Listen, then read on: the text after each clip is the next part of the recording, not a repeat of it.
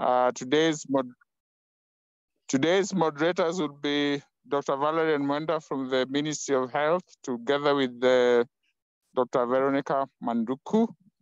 And we have lined up uh, a series of talks on, on breast cancer. Let me just welcome uh, Valerian Mwenda uh, to take it from there. Thank you.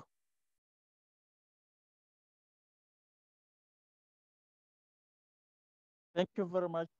Can you confirm if you can hear me? I can hear you.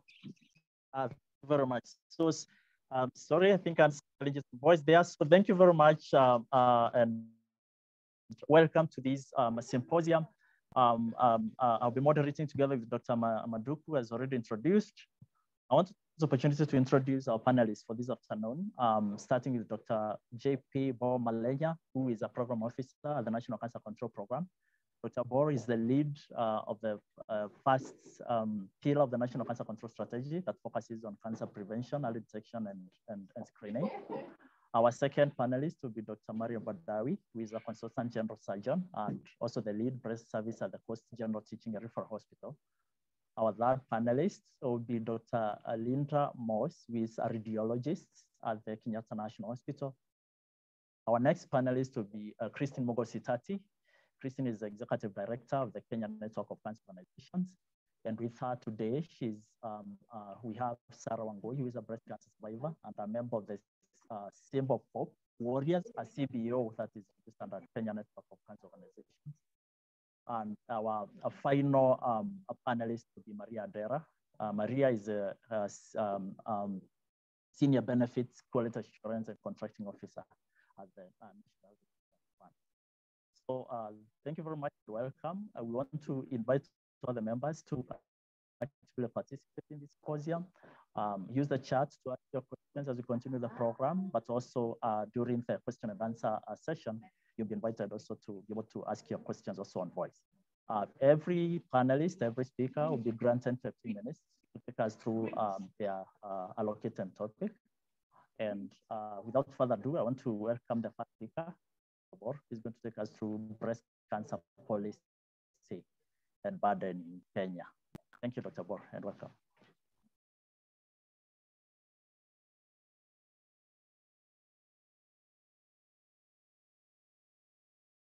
Thank you very much, uh, Dr. Valeria.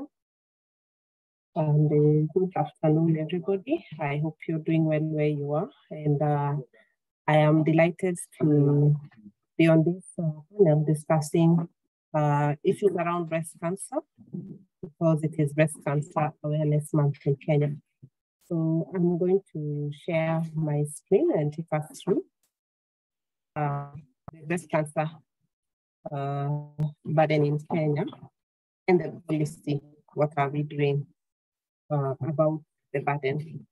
So as I've been uh, affiliation is to the National Cancer Control Program.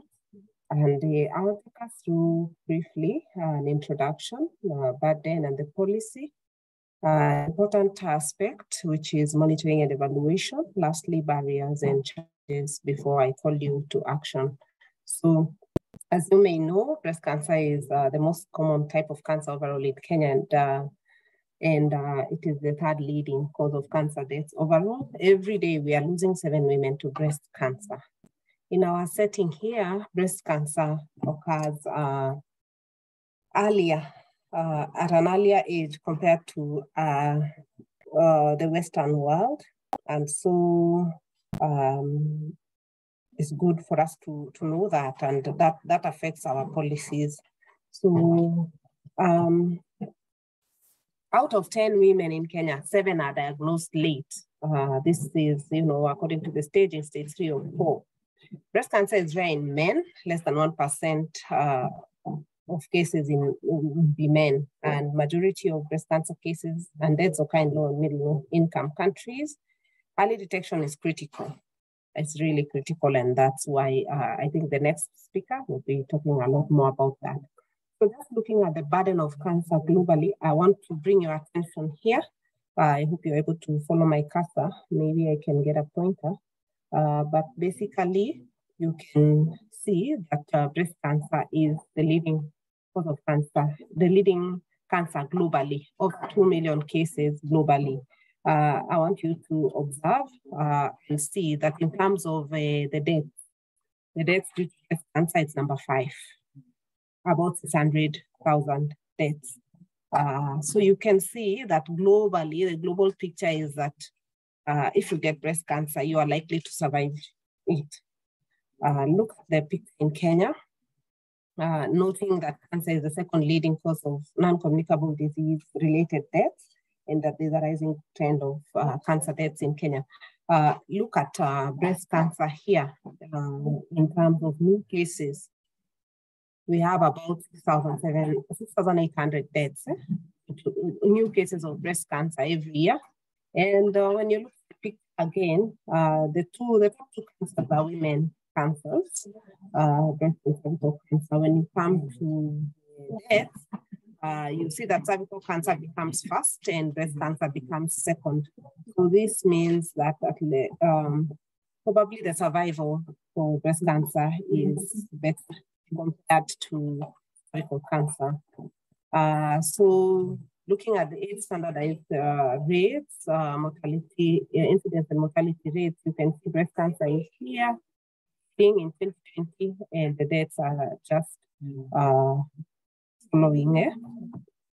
Yeah, so that is the picture of breast cancer in Kenya. Uh, I want us now to move on to look at the policy, what is being done about this. And you can see that there's a, there's a global uh, breast cancer initiative, uh, 2021, I'm missing a one there. Uh, this was launched by WHO um, in response to rising burden of breast cancer and the realization that there's a lot that can be done to prevent breast cancer. So uh, the goal of this policy is to avert uh, close to 2.5 million deaths by two by 2040. You know, when people used to say 2030, it seemed so far, but it's seeming nearer and nearer, and the same will be the case for uh, 2040. So the, this uh, policy is anchored on three pillars. Uh, I'll be telling you more about those pillars and uh, you know, every time there's this global initiative, the idea is to spark collective action and provide momentum so that we can address the problem. Looking more closely at the at the pillars of this global breast cancer initiative, the first pillar is on health promotion and early detection. This uh, here now, the real the target is to diagnose, uh, achieve diagnosis of breast cancer at least mm-hmm. 60% of the, the cases to be diagnosed in stage one or two. The second pillar is talking about timely diagnosis. And this pillar now also has a 60, which is a 60 day diagnosis that evaluation, imaging, tissue sampling, and pathology should be completed within 20, within 60 days of contact with the health system. So this requires our health workers, some of you are here, to be aware to be well educated on the signs and symptoms of breast cancer so that you can refer the women to diagnostic services uh, in a timely manner. And then the last pillar is on comprehensive breast cancer treatment. And here we are saying that 80% of women or you know clients diagnosed with breast cancer should undergo full courses of the treatment of different modes successfully and return home. So you're looking at a 60, 60, 80 cascade. I hope you'll remember that. In Kenya, what have we done? We have a robust policy environment here in Kenya. You know, without a policy framework, it's difficult to raise funds. It's difficult to mobilize uh, even human resource and other kinds of resources. You probably may have seen this. We have the Kenya, Kenya Cancer Policy. We have uh, a national cancer control strategy, which is expiring and we are revising we have the treatment protocols, we have the screening guidelines. We have now, this is the main document of the moment, the breast cancer screening and early diagnosis action plan. And I hope you can familiarize yourself with it and you can download it on the MOH website. We also have a palliative care policy. We also have uh, specimen handling guidelines because, you know, cancer diagnosis is based on uh, specimen histology. So what do our screening guidelines say about uh, breast cancer? screening, uh, that mammography is the main recommended method for screening. There are other complementary methods which are recommended to aid in early diagnosis, which has been identified as very important in breast cancer. This is the breast self-exam, clinical breast exam, and also ultrasound as a modality. Uh, and for selected high-risk groups, MRI, magnetic resonance imaging is very important. Uh, now, more specifically to what the guidelines say about the age to start screening and the frequency of screening, it depends on the risk assessment. There will be average risk women and high risk women. I think uh, this will be discussed further, but for average risk women, they're supposed to be screened uh, every year between ages 40 and 55 using a mammogram uh, or ultrasound, but mostly mammogram. And then 56 to 74 years, you know, the frequency reduces to every two years. And this is the summary of the guideline recommendation, uh, which I will not uh, go through so much. But just to highlight that you can see CB, clinical breast exam, start from age 25. Yeah, and uh, it should be done every three years. By the time uh, somebody is 35 to 39, it's being done between once uh, every year or every three years. But by the time one is 40, you need to be getting clinical breast exams every year. And when you reach 56, you can do them every other year along with mammography. So uh, we also have the breast cancer screening and early diagnosis action plan, which has five key result areas that it focuses on. The first one is on governance and policy. Uh, here we are addressing issues of the policy environment. The second one is on creating demand and engaging communities and educating them so that they can take up the services. So here we are talking about educating community health volunteers, uh, using the media to educate uh, the general public, using survivors as champions to educate uh, people. And that's why we have even on this uh, panel, a survivor who will be sharing her experience. Then we have a health provider uh, training and professional development, very important. You saw the second pillar of the global uh, initiative uh, that we need we need health workers to, to be able to have a higher index of suspicion and be able to uh, fast track the diagnosis of clients. The fourth pillar is on service delivery. And uh, here now we are addressing screening, diagnostics, patient navigation and referral. And in service delivery, we have this concept of the rapid diagnostic clinics, which we are looking at having one in every county. And uh, we will launch the first one uh, at KU on Friday.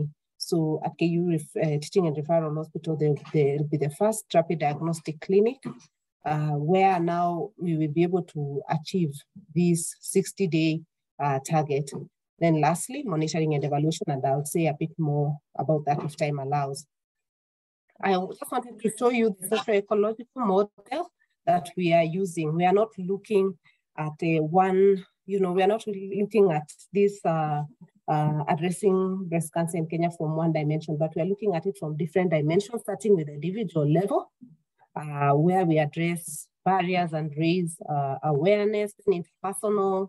This includes training of providers and then organizational. We are looking at the health system we're looking at the universal, universal health coverage, UHC. We're looking at having NHIF, and they are here with us today, and also looking at professional bodies supporting, you know, the whole environment. Then we have the community. We have uh, the various organizations. We have civil society, community-based organizations, and also research. We have civil society here with us today, and uh, to crown uh, we have the policy making sure we have an enabling environment, we are controlling and making sure that there's quality and so forth. So uh, I said I'll speak a little more about monitoring and evaluation. This is very important uh, because data is key for us to make informed decisions, to measure our impact. Are we just working or are we making impact? Also to plan strategically, what are we going to do next, our interventions, to manage logistics and also for operational research. And some of the indicators we look at in M&E for the breast cancer program include screening coverage. Uh, we look at positivity rate and uh, the biopsy rate. The screening coverage is basically the proportion of, of, of women, the percentage of women screened as a proportion of the eligible women who are supposed to be screened within that period. Positivity rate, the number who are screened, and then they have positive screening results a thousand women screened and biopsy rate. We know that the next we'll be hearing more about these uh, biopsies, but we need we need to know how many ultrasound guided biopsies are performed for those who are eligible. We use these tools to track, uh, to record data and, uh, and track our, our, our you know, progress. We have uh, MOH 412 screening register, and we have MOH screening summary, which uh, cancer screening summary, which you know the data from this register is collected into screening summary and onto the KHIS. And uh, we also have treatment registers and uh, treatment summaries for every month. Uh, there are various barriers. You know, why are we not doing so well with breast cancer? Some are structural, some are social cultural, some are personal, some are financial. Uh, structural bar barriers, uh, things to do with the health system, where we have lack of, uh, you know, access to services, weak referral networks, lacking patient in, uh, navigators, and sometimes the geographic distribution of services, you may find that one facility, uh, the, the county referral, which has maybe mammogram, is so far from where the client is. We have social cultural barriers which uh, prevent access and uptake of the services, things like stigma, myths and misconceptions, and poor linkages between health facilities and communities. Personal barriers include poor health literacy and awareness. We need to be aware of risk factors. We need to be aware of the importance of early detection. And then also there are some psycho psychosocial barriers to treatment that come into play. And uh, lastly, the financial barrier. Here we have lack of health insurance uh, and high out-of-pocket expenditure, what is called, you know, catastrophic expenditure. And uh, we are happy NHIF is with us. They will tell us their role. So more specifically at Kenya, we have some challenges. Women are not taking up screening as much as we would like them to. Uh, the figures are, are as low as 25% according to some surveys that have been done and even few fewer fewer uh, you know for performing a self breast exam you find that only about a quarter of women do that on a regular basis. For now being seen by a doctor or a health provider only 14% have done that. And then we have low awareness on screening services. People don't know where to access the services. We have uh, late diagnosis. I think i already mentioned that inadequacy of equipment and treatment services. We are continuing to do a lot as a ministry uh, in terms of providing treatment services. We now have uh, about uh, 10, 11 uh, cancer treatment centers in the country, including uh, latest three comprehensive uh, cancer treatment centers that have radiology in addition to what was there before. looking also another challenge is registration and surveillance and also low utilization rates for the equipment that's available. For example, mammogram, all 47 counties have mammograms, but uh, only less than 1% of all eligible women were screened in 2018, according to a survey that was done. So allow me to you to action. There's much for you to do. Uh, let's join hands together towards the 60, 60, 80 target of health promotion, timely diagnosis, and comprehensive treatment and care. So thank you very much, and I'll be taking questions at the appropriate time as will be guided by the moderator. Thank you, and over to you, Dr. Mwenda. Thank you very much, Dr. Bor, for taking us through uh, the first topic. And thank you well uh, fit in the global breast cancer initiative within our local policy context. Um, our next speaker will be Badawi, who will take us through uh, prevention and early approaches for breast cancer. Thank you and karibu.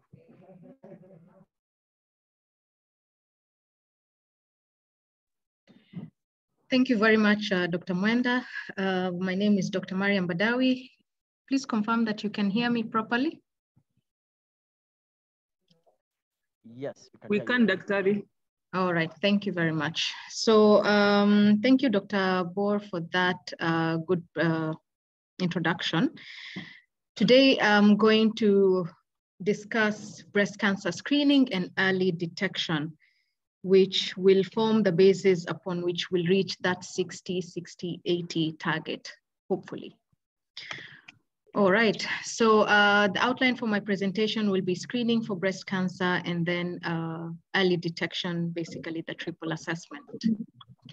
So what is screening? Screening is uh, investigations performed in the absence of clinical symptoms or signs of breast cancer. So these are women who have no breast masses, no breast pain, no nipple discharge. They have no symptoms whatsoever, and they go for regular screening in order for them, for us to detect the cancer at the earliest stage possible. Because uh, when we detect it at the earlier stages, that is like stage zero or stage one, we manage to improve prognosis and thus uh, reduce mortality from breast cancer. So what is screening versus early diagnosis? So the two are not exactly the same. So screening, when we look at this uh, diagram, screening uh, basically targets the pre-invasive stage of breast cancer. That is when the cancer has not, uh, it's only a group of abnormal cells that have not uh, invaded the basement membrane. So they're called ductal carcinoma in situ. And it is that stage that would be the best stage at which for us to detect the cancer. And that's when we do screening because in such patients, they normally don't have uh, any symptoms. Some of them would have symptoms, but uh, when they don't have symptoms, that uh, forms the group that we target when we do uh, screening. However, when the symptoms start at this stage, that's when our investigations now aim to, uh, for us to have early diagnosis. So when the symptoms start is when we aim for early diagnosis, which is what uh, will be the second part of my discussion. So what is the rationale for us to do breast cancer screening? Why don't we uh, emphasize on the same for all types of cancers. So the reason is that uh, increasing incidence of breast cancer in the country and rather globally. And uh, from GloboCan 2020, we know that uh, breast cancer forms 16.1% of all cancers in both genders and uh, in women, it actually forms 25.6% of the cancers. It is the number one cancer in women in our country. And um, unfortunately, we have a younger age at presentation, like discussed in the previous presentation. So our age group, uh, our peak incidence comes at the ages of 35 to 50, as opposed to ages of 50 to 65 in the Western population. And uh, a study done locally found that 60% of our patients actually present at stage three and four. So this is the number that we need to reverse. We need 60% to present at stage one and two, rather than stage three and four. So who should be screened? Is it any woman? No. So um, the method and frequency of screening is determined by characteristics of individual women. And what we do is that we do something called risk assessment. That risk assessment is performed uh, when you encounter any woman at the clinic for whatever other purpose. So we do the screen, um, the risk assessment using the Tyrer-Cuzick model, which is the one agreed upon in our national guidelines. And uh, this risk assessment model divides our patients into average and high risk groups. So who are these groups? The average risk group are women who basically do not exhibit any risk factors that are defined by the high, the high risk population. The high risk population are those women who have a first degree relative who's been affected by breast cancer, or if herself she's had an abnormal breast biopsy previously. An abnormal breast biopsy that would concern us would be that for high risk lesions like atypical ductal hyperplasia or lobular carcinoma in situ. And uh, also if the patient has a history of previous chest wall irradiation as part of treatment for things like Hodgkin's lymphoma. So if they've had that in their past medical history, that puts them at a higher risk for getting breast cancer. And also if the lady herself had a breast cancer on one side and now we uh, she's at a higher risk of getting breast cancer on the other side, or if she had breast conservation, then in the remaining uh, breast. So the average risk are any women, women who do not fit the high risk criteria. And the exclusion to this is the patient already has signs and symptoms suggestive of breast cancer, she's no longer at average risk. Actually, she's no longer at a screening uh, group. She's now patient for early diagnosis. And um, also if she's had a previous diagnosis of ductal carcinoma in situ, and men also do not fall in this category. So the average risk population, how do we screen them? Now, uh, of note is that more than 80% of women actually fall, fall under the average risk population. And uh, the way we screen them, we start at the age of 25 but uh, we start with clinical breast examination every three years for those age 25 to 34. And uh, the frequency can be done every one to three years, depending on uh, clinical, uh, the circumstances. And uh, of note is that a mammogram is not recommended at this stage. Then uh, from the age of, of 35 to 39, we do clinical breast examination plus an ultrasound or a mammogram. This is also determined by the findings uh, during that clinical breast examination. These ones will guide us on whether we need to do an ultrasound or a mammogram. As discussed before, the um, main modality for breast cancer screening is actually mammography. It is mammography that's been shown to uh, contribute to reduction in breast cancer mortality. So uh, breast cancer screening is not complete without a mammography. And but the mammography is only added when the woman reaches the age of 40. So from 40 to 55, we do clinical breast examination plus mammography, and this is done annually. Now, we may find uh, some organizations or uh, centers uh, promoting uh, breast cancer screening, but it is only clinical breast examination. It is important that when women present to these screening programs, they have to be told that that screening is not complete until she does a mammography if she is above the age of 40. And then from the ages of 56 to 74, we do the same, but we increase the interval to every two years. This, of course, provided this patient has been regular with her annual mammography when she was in this age group. But if she is starting off her screening at this stage, you may decide to do it annually depending on her risk factors.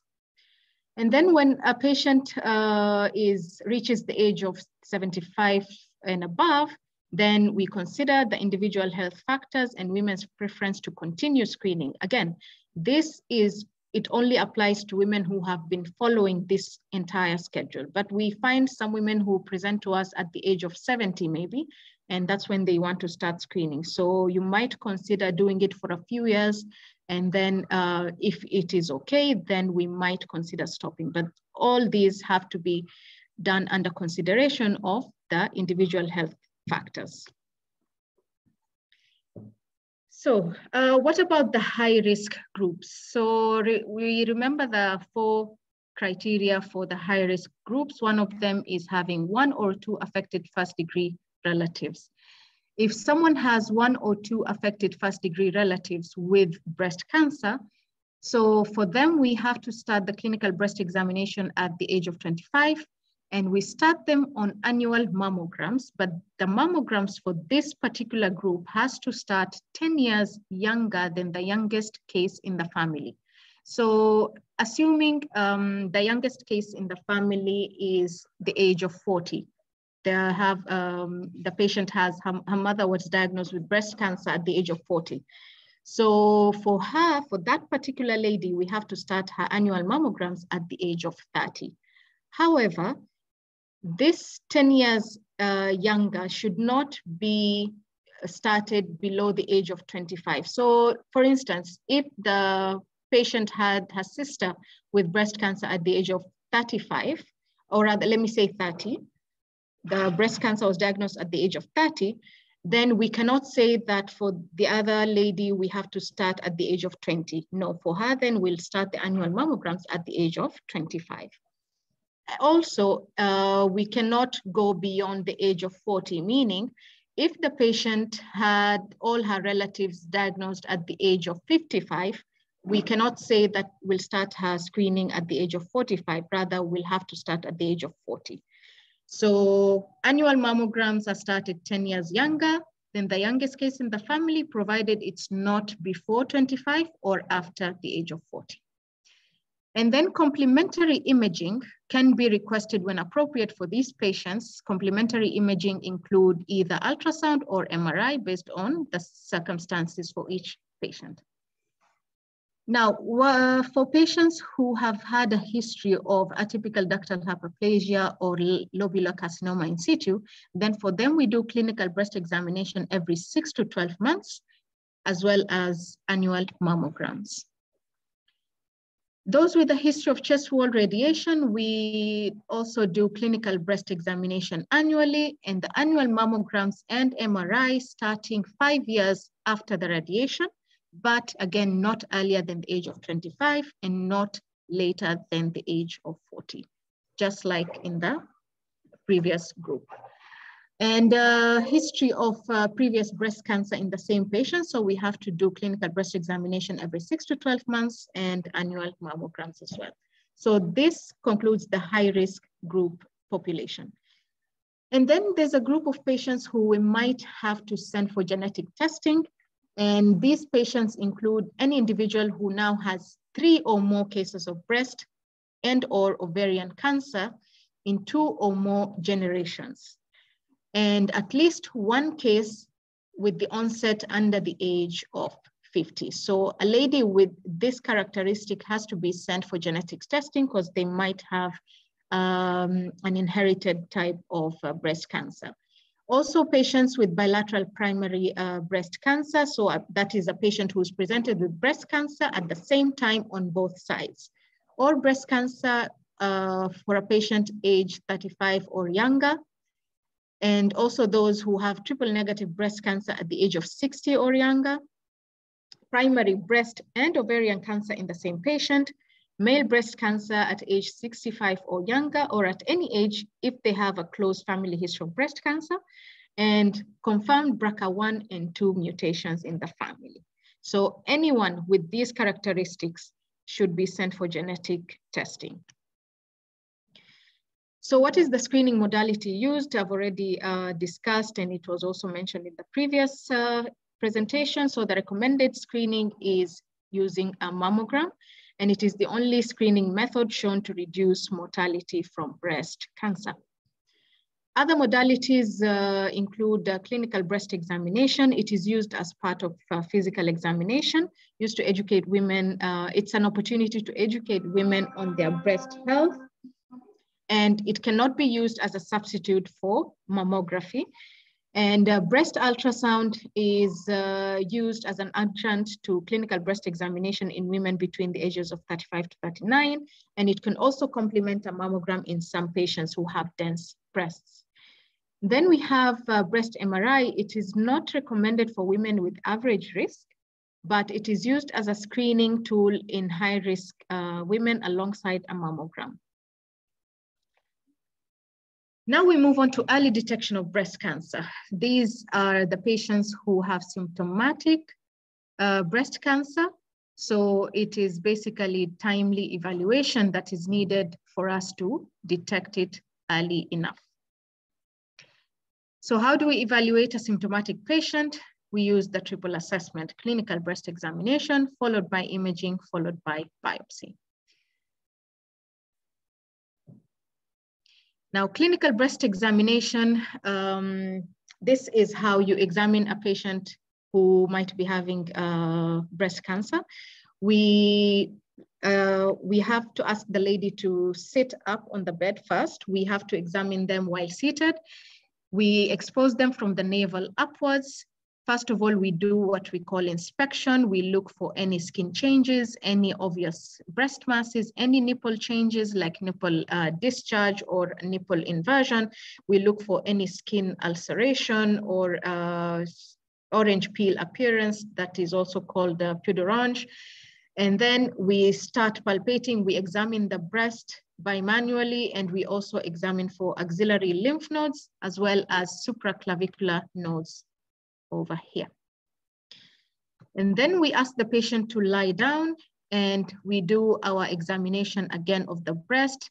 It has to span the whole entire anatomical area of the breast from the midline to the clavicle to the anterior axillary line and to the inframammary fold. This entire area can be examined by, by any of these three methods, provided that um, we cover the entire area. And uh, we use usually the pads of the three fingers uh, of the hands to do the examination. We don't use the tips. Once we encounter a breast mass, we have to describe it, the size, consistency, whether it's attached to the underlying muscles or overlying skin, and uh, also if it is tender or not.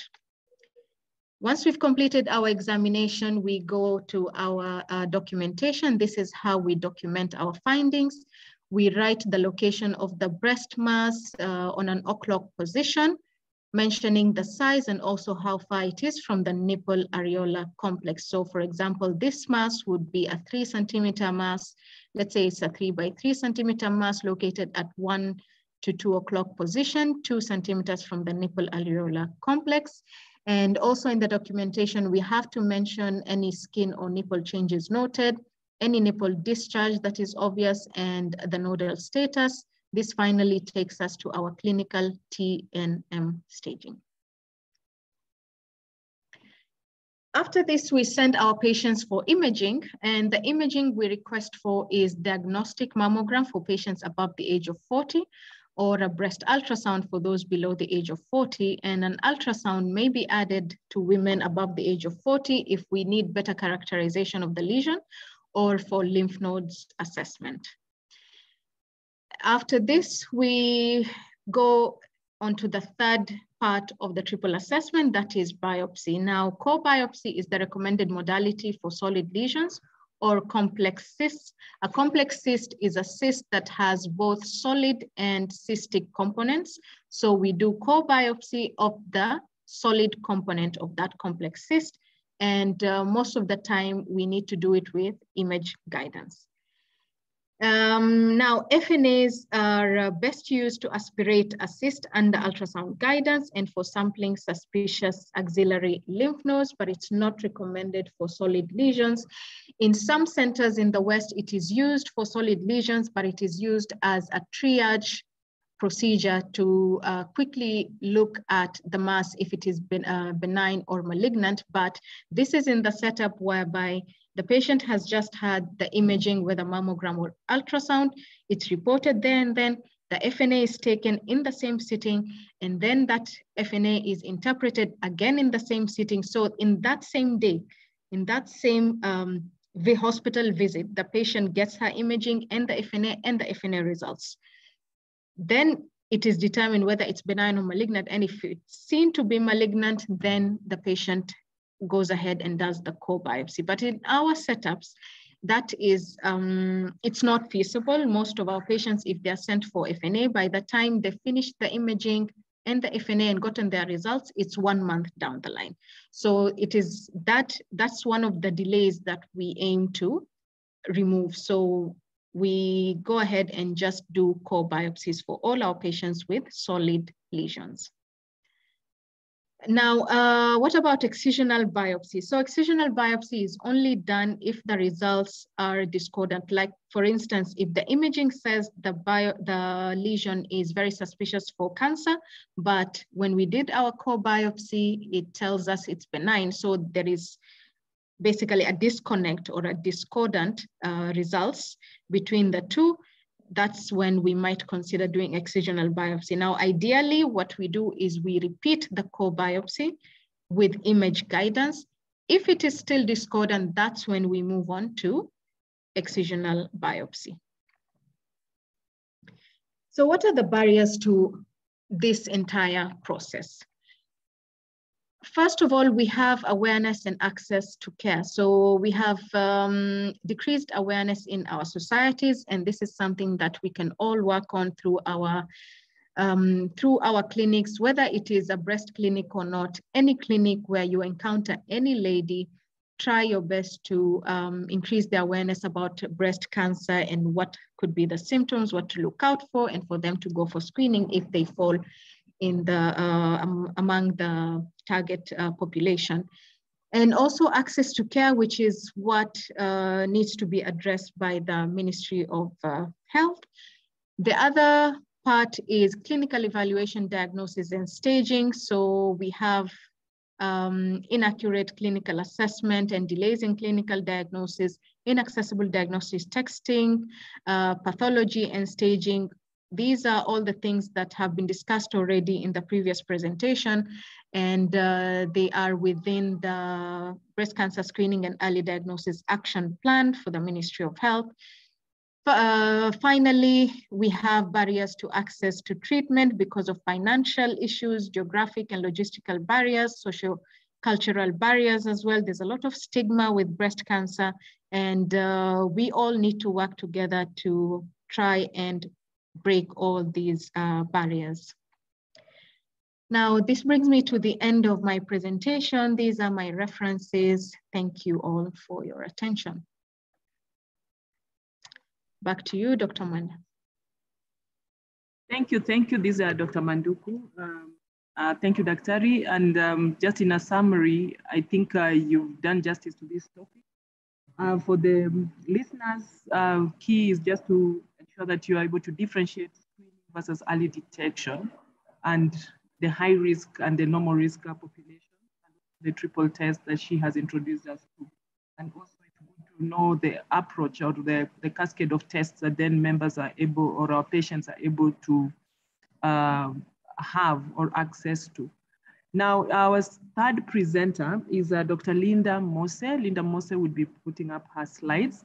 Uh, she is from the Kenyatta National Teaching and Referral Hospital. She's a radiologist at KNH, and we'll be allowing her to take us through diagnosis and linkage to care. Uh, karibu, Dr. Linda. I hope you're able to put up your slides.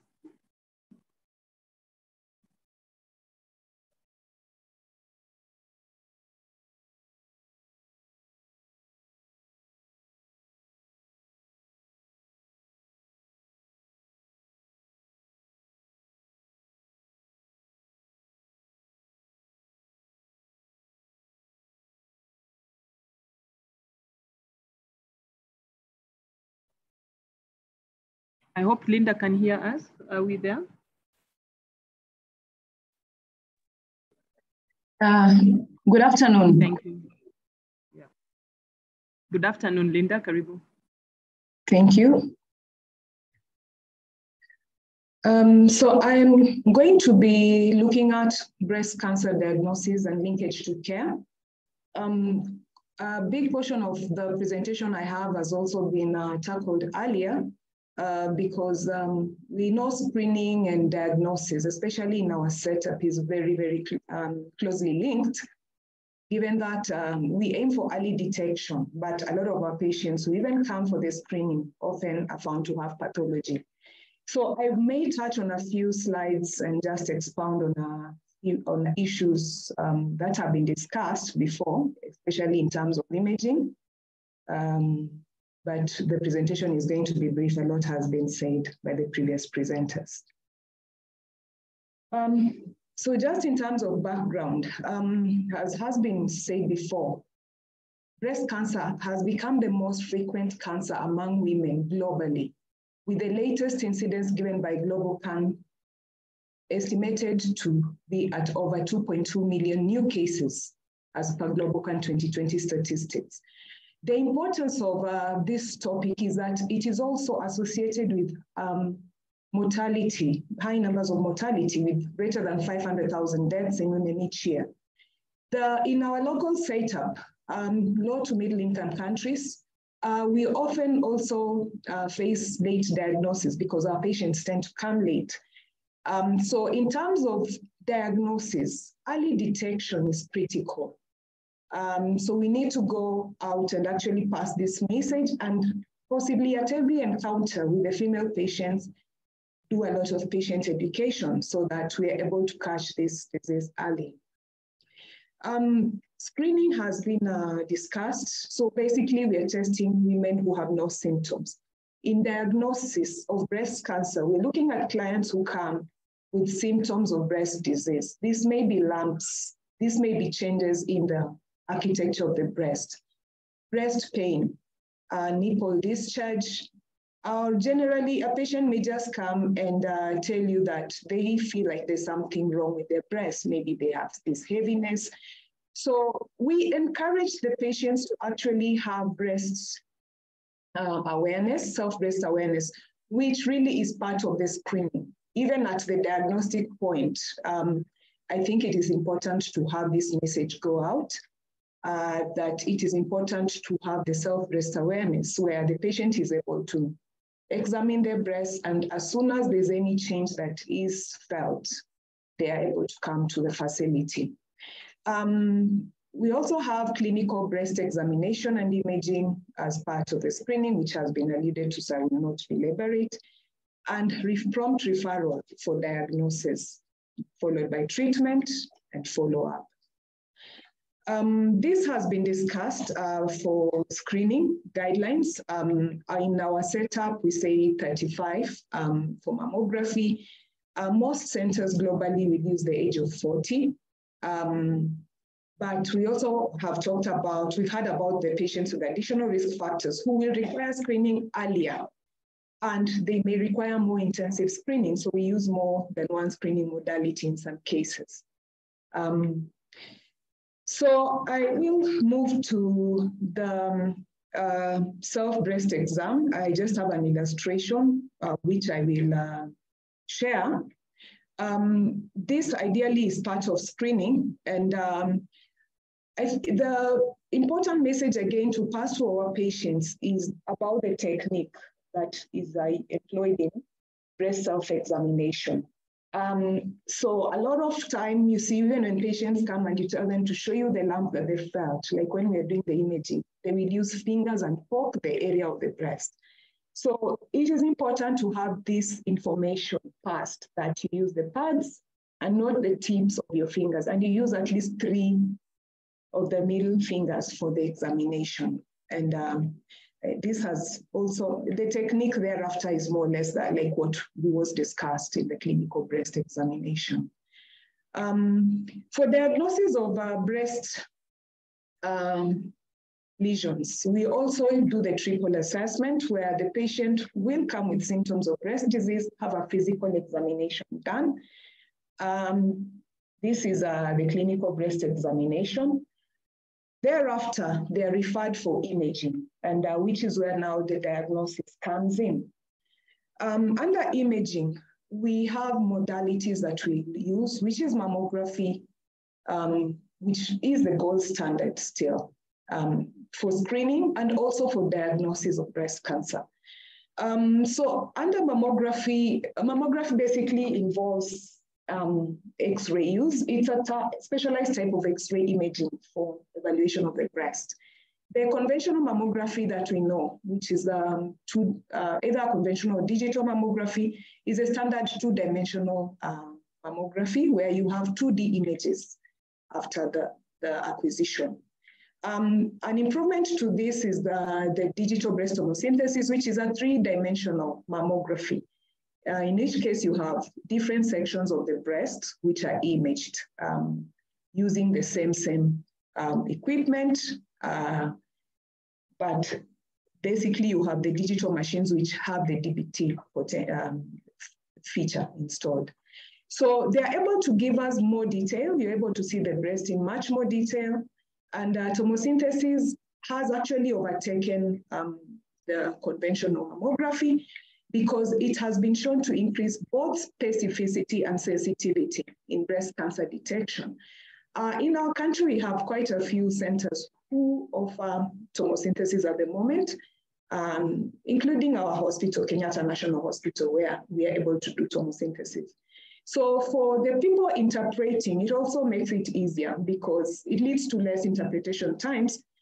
It is easier to see this um, images because you're looking at thinner slices of whatever uh, section of the breast has been imaged.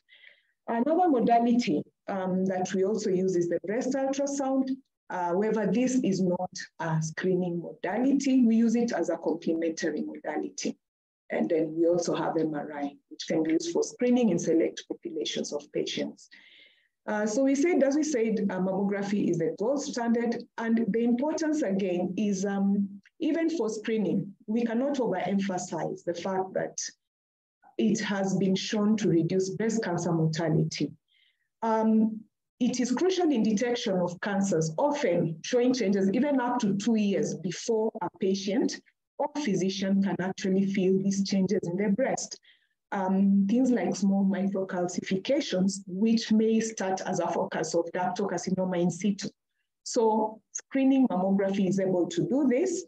Um, so we move to MRI. Um, so we say we say it's used for a select population. We don't use it widely for screening because first, it's not widely available and then it, um, it is also an expensive modality. And uh, even in terms of studies, um, mammography has still shown quite, um, has been shown to be the modality of choice to go to for both um, screening and diagnosis. So the indications for MRI, um, for example, patients who have mammographically occult tumors. Now, mammogram also has its uh, limitations, especially when you have patients whose breasts are dense. Um, this tends to be patients who are younger, because um, at least the breast involutes with age and becomes more fatty as you age. Patients who are younger tend to have more fibroglandular tissue, then therefore the breasts are more dense. And uh, basically you'll have a mammogram that appears almost white and you're not able to pick the masses because the masses that we pick on mammography also appear white. So in such patients, MRI is a useful modality. Um, the other limitation of uh, mammography, again, is the effect of summation of tissues because you have a breast that has been compressed and you're passing X-ray beams through and you have a lot of tissues that have overlapped in that section of image. So you have overlap, which creates summation, and this can create false positives. So um, in such, in cases where you have indeterminate results again, and even ultrasound has not been able to, as a complementary modality, has not been able to solve the problem, we can then use MRI. It's also useful in tumor size estimation um, with detection of the invasive component of ductal carcinoma in situ lesions, where we suspect multifocal disease, which is not confirmed on conventional imaging, and the detection of additional tumor foci in the ipsilateral or contralateral breast. And when we have patients with axillary masses or axillary nodes with no primary tumor evident on clinical breast exam, on imaging, conventional imaging, that is mammography and breast ultrasound, we can use MRI to again act as a problem solver where sometimes what you are looking for are things like the uh, contrast enhancement. If you see areas of increased um, breast parenchymal enhancement or abnormal parenchymal enhancement, areas that demonstrate some of the features we look for in MRI, like restricted diffusion, then um, these are areas that can be biopsied in, in cases where you have disease in the axilla with no, with occult breast disease. Um, um, it can also be used uh, for planning for breast conserving surgery. And as we said earlier, patients who have high family, uh, high um, risk, high risk patients, patients who who are younger with a um, high risk of malignancy or high risk uh, of developing breast cancer can benefit from MRI as a screening modality. Um, breast ultrasound is uh, also useful, um, useful in younger women, and as we said earlier, in patients whose breast density is increased, in which case mammography then becomes less sensitive as an imaging modality. Um, the uh, beauty with the ultrasound is it's widely available, does not have ionizing radiation. We can use it in lactating women, we can use it in pregnant ladies, we can also use it in male patients presenting with a mass, and also to as a complementary uh, study to correlate with mammographic findings, which were inconclusive. It's also possible to differentiate solid from cystic lesions on ultrasound, and it's also useful in guiding biopsy procedures. However, of notice, we need to emphasize that it is not used primarily as a screening modality. Um, so we will move to when you have this image to this patient, uh, you say that your mammogram or your MRI or ultrasound, either as a for younger, very young patients, probably it was the first imaging modality or as an as a complementary modality. There is information that is important to include in that report, which is the biodata of the patient, the age of this patient, because like in our setup, we've seen the cancers are, are being detected earlier. And most of the time, the patients are coming with late disease. The patients who are coming are younger, um, but with late disease. Uh, so it, it's also important to have um, the presenting complaints and physical findings. Risk factors, risk factor evaluation is important when reporting these mammograms because you want to know if the patient is at increased risk. And this will also guide you as towards whether to have additional imaging. Um, and then on the imaging findings, we usually use the BI-RADS lexicon in reporting. And uh, it's important for the clinicians to also familiarize their, uh, themselves with uh, what we mean when we say BI-RADS zero. A BI-RADS zero report basically says the evaluation is inconclusive. So we need further imaging so that we can arrive at a diagnosis. For negative, which is BI-RADS 1, it means there was no mammographic evidence of malignancy or on MRI, there's no evidence of malignancy. So this a patient who then can just be followed up. Benign findings are things that we clearly see, and you, you can tell these are not going to be problematic. Um, fibroadenomas, which are clear, uh, benign cysts, um, macrocalcifications. So these patients, again, will go for the usual follow-up.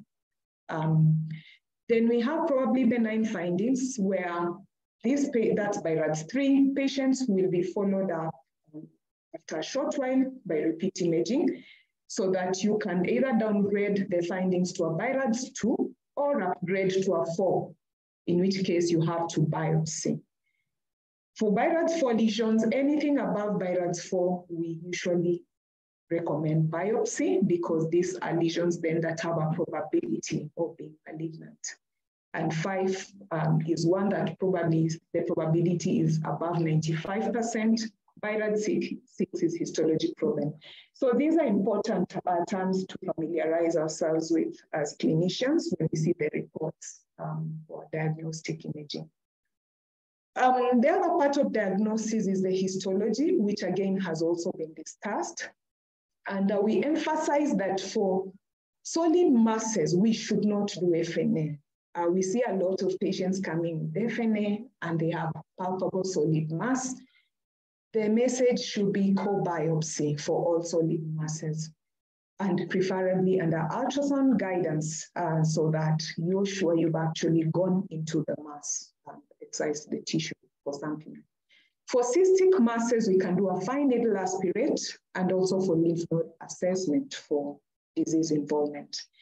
Um, under histology, we also are able to know the type of breast cancer. So this is information that we are given when they take the specimen and to also tell us whether this um, uh, particular cancer is hormone receptor positive or negative, and these are useful in um, this information is useful in determining the choice of treatment for this patient. Um, so when we have diagnosed the patient, the care does not end. Um, cancer care, uh, there is a, conti a continuum where you do not interrupt that flow. You should be able to link this patient to the next stage. When the patient comes to whatever level, if it's a primary facility and you do the clinical breast exam, you find a palpable abnormality, where do you go to? You send to the next facility, which is able to do something that is more advanced, usually county referral facilities.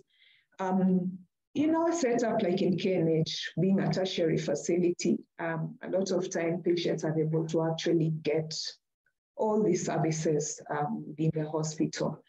So, and the linkage to care, we want to provide this patient with the link to getting the correct diagnosis for the disease and definitive care. Um, some of the resources that are required are um, in terms of needs assessment, we have to look at the facility and see whether we have the infrastructure, we have the human resource, the consumables um, to, to be able to actually provide care for these patients when they come to us. Um, we need to look at capacity and availability of health workers um, at all levels who may provide breast health education, who are competent to do the examination, and also referral of clients to the points of definitive care. So the approach um, usually is tailored to available local resources. Um, this has been alluded to earlier. So even right from screening, you look at the clinical breast exam and refer to the next step if you if um, you see that this is a case which needs further evaluation. We need to have clear uh, pathways for referrals um, that should also be um, passed out. Um, so at higher facilities where you have the cancer treatment centers, where you have um, surgical um, facilities um, where patients can actually get the definitive treatment they require, we need to also have adequately trained human resource. We need to have equipment. Um, the other things we need to is uh, to do is have multidisciplinary team involvement because cancer care for any patient is not an isolated uh, is not an isolated uh, thing because we have to have all the players involved from the clinicians, you have to have the people who image, you have to have the pathologists, uh, the radiologists, the surgeons, the physicians, um, depending on what kind of treatment. So multidisciplinary team approach is um, encouraged in the care of this patient. And offering support services, and especially knowing that some of our patients will come late, so they need to be counseled on um, the prognosis of the disease, the available treatment options, where to go for support groups, and pain management. So all these factors should be looked at. We need to look at this when we are linking these patients to the definitive care. The other thing we should not forget is after we've treated this patient, we need to follow up. In cases where maybe a patient has been caught early enough, surgery has been done, um, chemotherapy, follow-up surveillance in imaging is crucial. So we don't want to have patients who come back after five years with another tumor. So it is important to also pass the information that they need to come regularly for their follow-up screening mammograms.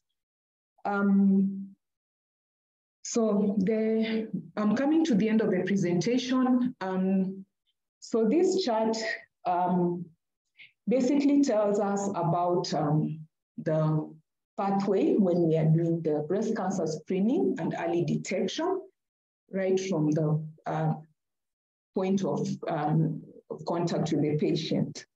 So you have at this level, you can first level where you have education on breast self-awareness and breast self-examination. This should be done by anybody who comes into contact with the patient, be it the nurses, be it the midwives, clinical officers, medical officers, physicians, breast surgeons.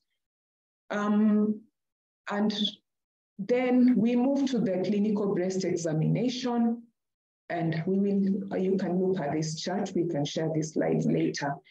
So in cases of any abnormalities, again, there's a pathway to follow, go to imaging. If there are, there's abnormality, go to histology. Any abnormality picked, refer to cancer center for treatment. Um, the second algorithm is for um, breast cancer, that a person who comes with a lump, a diagnostic workup, um, is are some slight differences, but again, it tells you what to do if the patient is below 35 years, you start with a breast ultrasound. Above 35, you start with a mammogram. This is actually found in the in the current uh, breast cancer uh, the action plan that has been recently adopted. So basically, again, it tells you what to do at each level of care. Um, when you find an abnormality, refer to the next level of care so that this continuum of patient care is not broken. Um, I think that is uh, all for my presentation. Um, thank you for listening. I'll, I'll refer us back to Dr. Manduku. Thank you. Thank you, Doc. Uh, Sana. So thanks, Dr. Mose, for that uh, presentation and the overview that you've uh, given us. Uh, as the, we set into the next phase of these presentations, yes, you have been able to expound on the, um, the modalities for diagnosis and how we actually have to link that to care. And um, actually on the emphasis also of mammography uh, being able to also know that there are other tools that we can use to complement uh, diagnosis, but not necessarily for basic screening. Uh, so I'm still urging members, uh, if you have questions, you send them on the Q&A as we welcome our next uh, pair of presenters.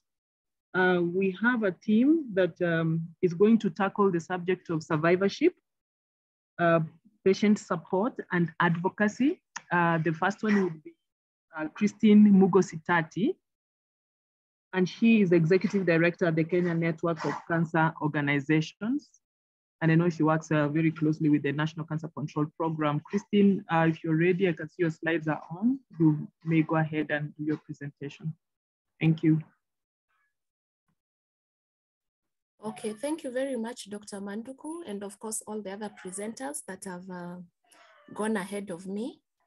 So I'll be tackling the issue on survivorship, patient advocacy and uh, patient support and advocacy. Um, next slide, please. Maybe you can put it on view mode.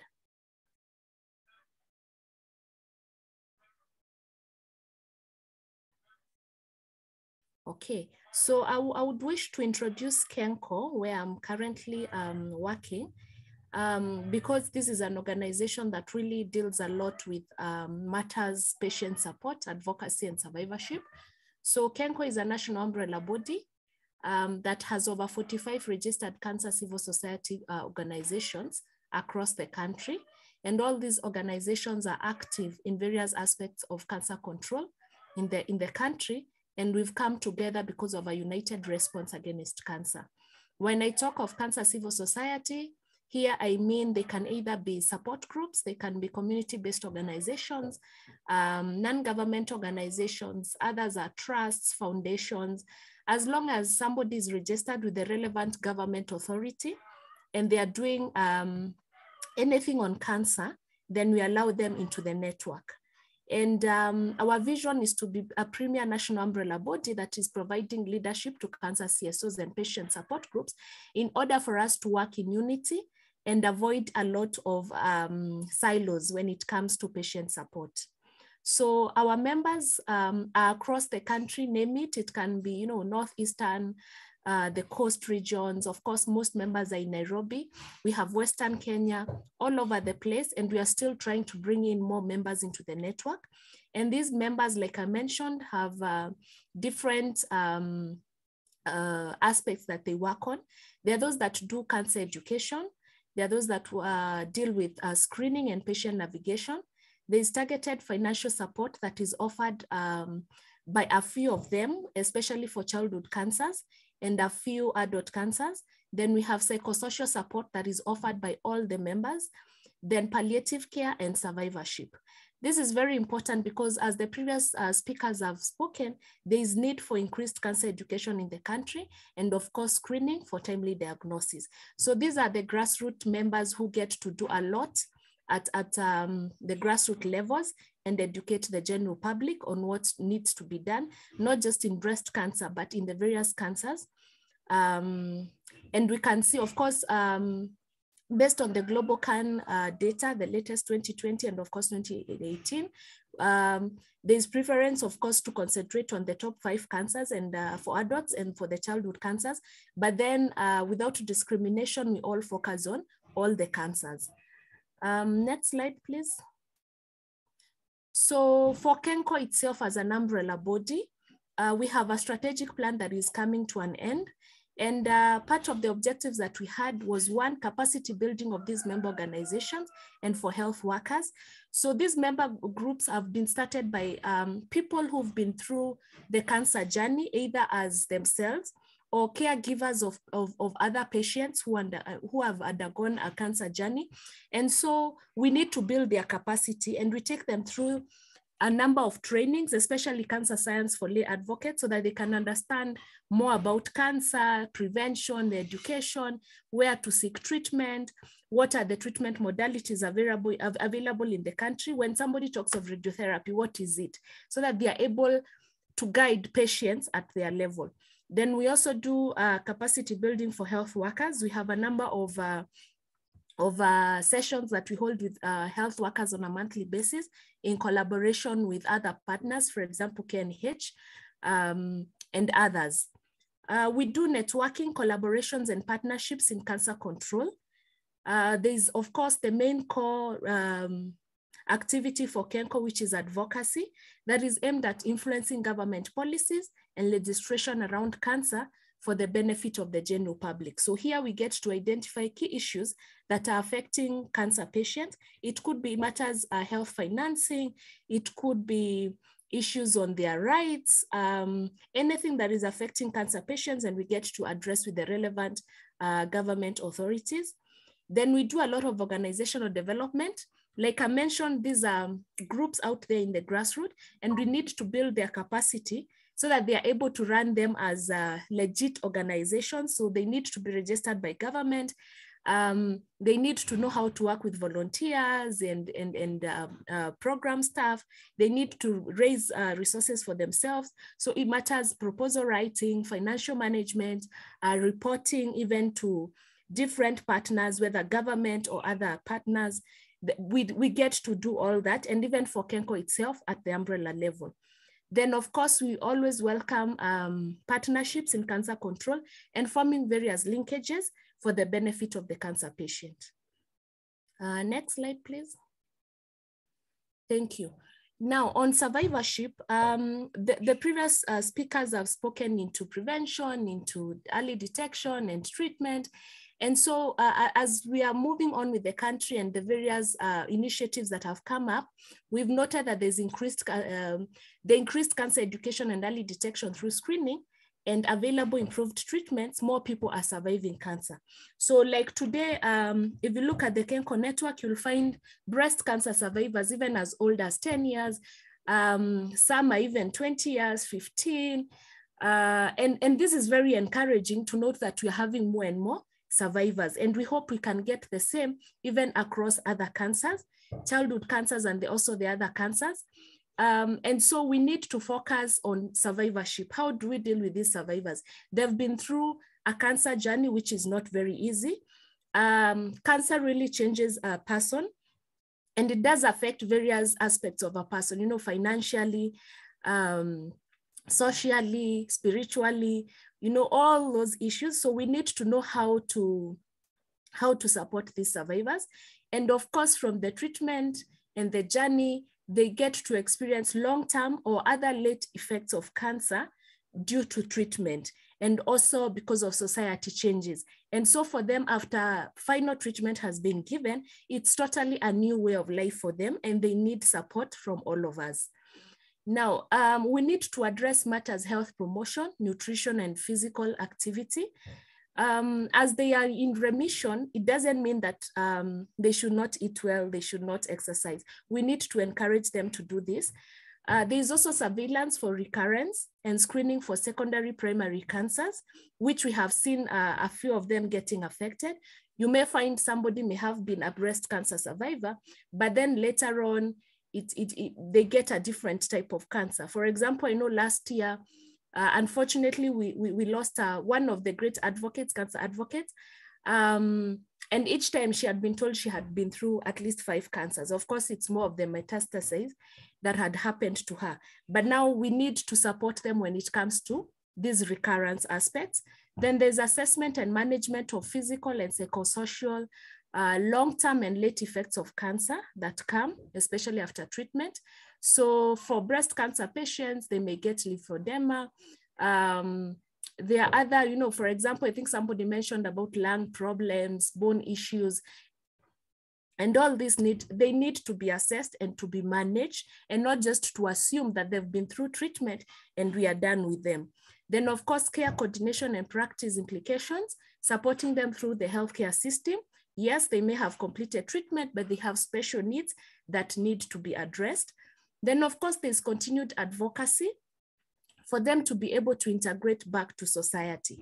Unfortunately, when someone is diagnosed with cancer, right now in the country, one challenge that we are dealing with is um, people being laid off work or missing a few opportunities that are work related. So they need to be supported back into economic empowerment. Yeah, it's a rights, rights issue, of course, that we are trying to see how best to support these patients um, when, when somebody is going through treatment, they get to miss work so many times. There are the side effects like nausea and all the weakness, and they are not able to report to work regularly. And you find them, you know, eventually an employer will let go that person. So when they are through with treatment, what happens next? They have families to feed, they have children to see through school. So we get to um, encourage these patients to, to join these members so that now you find, for example, there are those groups maybe who will do breast, who deal with breast cancer patients, they will now start knitting things like breast, uh, breast prostheses, the knitted types. And uh, we are able even to support them. We either buy and distribute for free uh, to other people who might need them or um, expose these um, you know, expose this to other partners who would be willing even to market the produce for the, the, the products for them. So there are those that will need mats, others it's the scarves, um, others it's the table banking and they get something extra that they can use in business. So all this um, is a way of economic empowerment in a bid to, to, to integrate them back into society, which is very important and something that we all need to consider. Uh, next slide, please.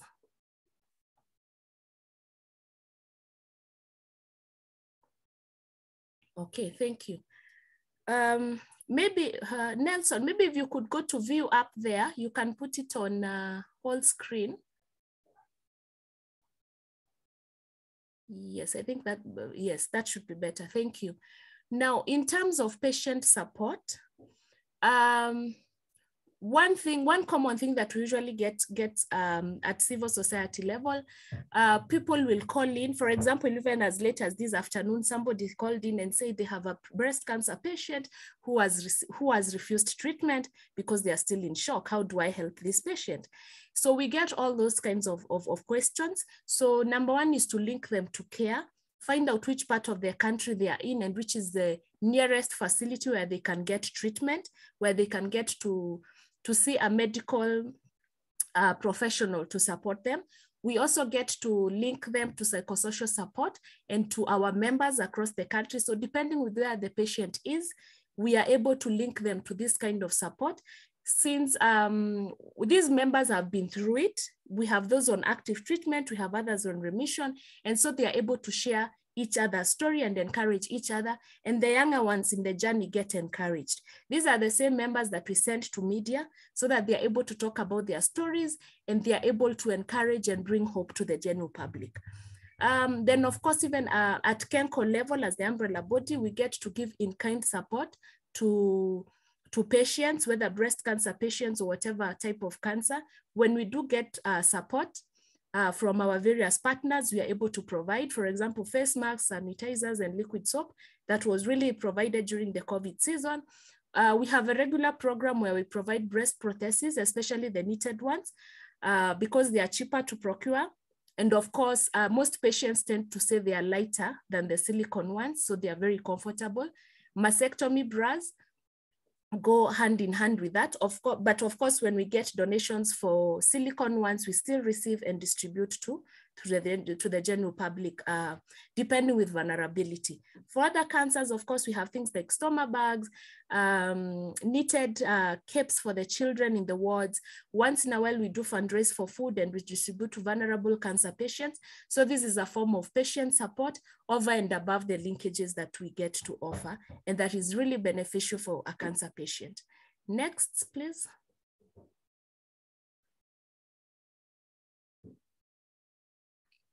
Oh, so those are just photos of, of, of um, some of the support groups receiving support, uh, food, some screening there. Next slide, please. Yes, now on patient support, uh, we run a very uh, key program, which is called the Cancer Education Materials for Patients and Caregivers. Now, uh, this, this program focuses on training health workers on how to break bad news. It's, um, it's a two-day train, training where health workers are sensitized, you know, basics on cancer and how to give a cancer diagnosis to a patient. Then we get to do quarterly distributions of these patient booklets and the health worker flip chart that the health workers use to counsel the newly diagnosed cancer, cancer patients.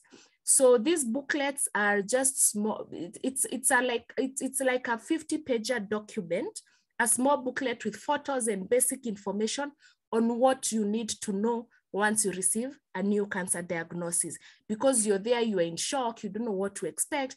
And and, and the booklet takes you through um, what cancer is what what what um, the signs and symptoms are.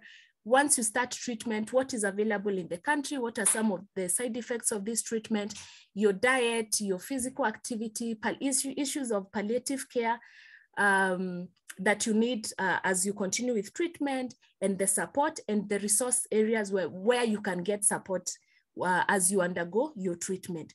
So this program started in 2017. We have so far trained about 58 health facilities and the criteria is to identify a facility that is offering chemotherapy, radiotherapy, and or palliative care because now these are people who get to deal with newly diagnosed cancer patients and able to support them through their treatment journey for adherence and even for that psychosocial support. So this is a program that we continuously fundraise for.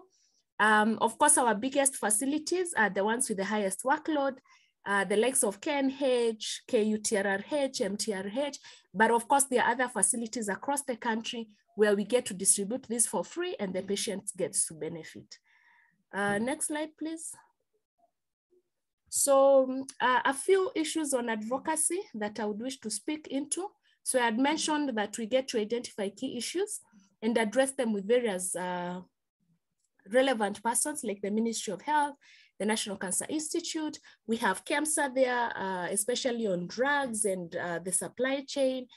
Uh, national parliaments, the Senate and the Treasury, the National Treasury, mostly on funding for non-communicable diseases and specifically for cancer, and even how to tax uh, the sin commodities like tobacco, alcohol, uh, sugar sweetened beverages, and um, advocating for these kind of funds to go into healthcare programming. Uh, then of course we have the National Health Insurance Fund that we have really had discussions with continuously and yes, the package, the oncology package might not be as comprehensive as, as would wish it to be, but we encourage all patients and even advocates and the general public to always have an up-to-date uh, NHIF card because um, as much as it will not cover in, in everything, it will still support a patient greatly. So these are continued discussions that we always have. I had mentioned about media and engagement for advocacy, just to create a message of hope to the general public because cancer, and cancer diagnosis is not a death sentence and the public needs to be encouraged to go for um, early screening for timely diagnosis and treatment. Then um, we are represented in all the technical working groups for the National Cancer Control Program so that we're able to plan together and review cancer activities. And of course, when it comes to uh, development of guidelines, we are always together and even support with the dissemination part of that. Then different partners I had mentioned we work with, for example, KESHO, the, the Society for Hematologists and Oncologists, the NCD Alliance, the Oncology Nurses Chapter, various pharmaceuticals and other CSOs, um, just to form strong partnerships in cancer control. Then uh, we are the hub for the Africa Cancer Control and Research ECHO. So these are monthly sessions that we hold for cancer education across Africa. Uh, just to disseminate a lot of information across the cancer continuum. And uh, right now we are working with 22 countries across Africa, where countries get to exchange the cases and didactic expert uh, information on how to deal with some of these matters in cancer. Then of course I mentioned about cancer education for the public and health workers. Then uh, we have an SMS-based platform uh, on Safaricom, which gets to disseminate various uh, information on cancer, the various types of cancers and uh, short messages that the general public can, can access. Um, next slide, I think that should be towards the end. Yeah, those, those are just photos of some of the advocacy work that we've done with media to highlight uh, key issues affecting the patient. Next slide, please. Yes, thank you very much. Uh, back to the moderator. Great, great, Christina. Thank you for that presentation. And I think you've been quite clear. And uh, thanks for linking actually our patients uh, with the community and the support groups. I think uh, the message to members here is uh, possibly they need to identify how or where KENCO and the affiliate bodies are within their counties so that you're able to actually have that support linkage quick, quicker uh, we know many hospitals do not have patient support groups or even linkage to palliative care. So you, you, they do provide that support. Uh, we, we did have, uh, Christine is supposed to be talking with Sarah Wangui.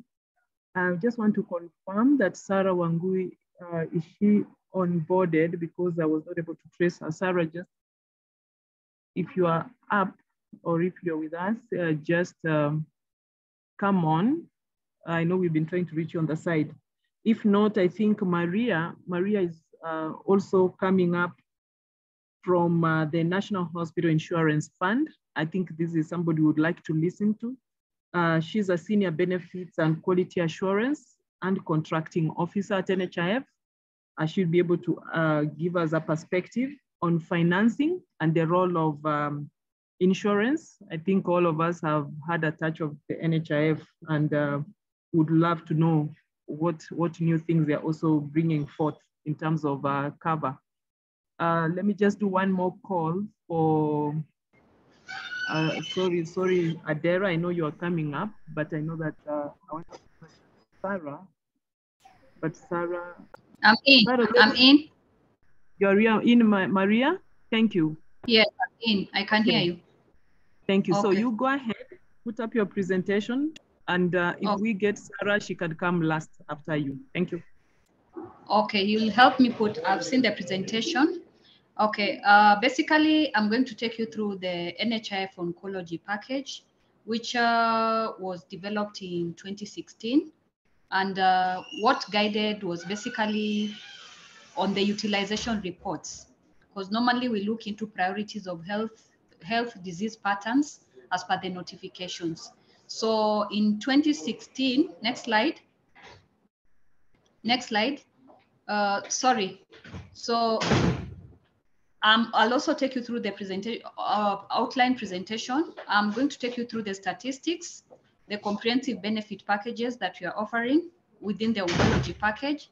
Of course, where to access the services, the facilities where you're expected to access those services, and of course, the strategic purchasing. Next slide. So, like I said, statistically, NHIF started oncology package in 2016, and it was informed by the following. One, leading cancers in Kenya. whereby we realized a lot of uh, diagnoses or the notifications we are receiving across the country were on breast cancer. And we could, uh, based on our statistical analytics, we realized that 34% out of 100,000, 34 out of 100,000 population, those are, are those more of uh, women being diagnosed with breast cancer. Cervical cancer was at uh, 25 per 100,000 diagnoses we, we getting. And of course, there's the men on the prostate, can prostate cancer, which, uh, which was coming to 17 per 100,000 population. So basing on these uh, statistics, it guided us on the need of having a holistic oncology benefit package. And uh, to date, uh, it has provided financial cover to uh, close to 23,534 patients based on the notifications we've received on basic cover amounting to 980 million 503 that is was uh, uh, 503,971 that was as at 2021 October and then of course we have uh, 22,420 patients on complex treatment amounting to Kenya shillings 1 billion 245 million 954 736.55 and of course uh, there's the foreign treatment which I didn't get the estimate uh, due to short notice but I'll share more later. Next slide so generally we have a comprehensive cover and within this comprehensive package cover for oncology there's the aspect of the within the comprehensive cover for for like the managed scheme we normally have what you call the we have the preventive side of it where the annual medical checkup applies. And you're saying within the comprehensive package uh, the principal member's spouse are eligible for free annual medical checkup at the selected healthcare facilities and medical checkup entails the following not less and not more than this one psa for men above 40, pap smear for all women, mammogram, body mass index where applicable, full hemogram, cholesterol, blood sugar, gamma GT, and of course urinalysis. So all this you'll be able to access on the annual medical checkup, which is context specific to uh, uh, to members who have the the managed scheme. However, for the national scheme, because of the financial constraints, we've still not been able to add this annual medical checkup unless now we now enhance it once the review of the uh, of the of the contributions, which you've had our president even talk more about it, so that we are able to give more on and focus more on preventive and promotive than just the curative part of it. Next slide. Next slide, please. So we are also we focus also a, a lot on participation on an, annual cancer awareness, like uh, what we what we are doing right now with the KNH and Ministry of Health, and of course within us as NHIF normally have uh, our we normally say uh, do those awarenesses also with, with within our NHIF uh, marketing tools, and uh, we do it through mainstream, sometimes through mainstream media, social media, of course, NHIF webpage, customer care desk at Duma centers and NHIF offices. And uh, we also continue to educate our members on the importance of annual checkups and health living. Next slide, please. So the second modality, I've talked of the preventive and the promotive. The second modality is a mode of treat, uh, treatment within the oncology package is the, the chemotherapy bit of it. And uh, what it entails within the chemotherapy will include the treatment planning process, the cytotoxic, uh, cytotoxic drug medication, of course, support medication and hormonal therapy.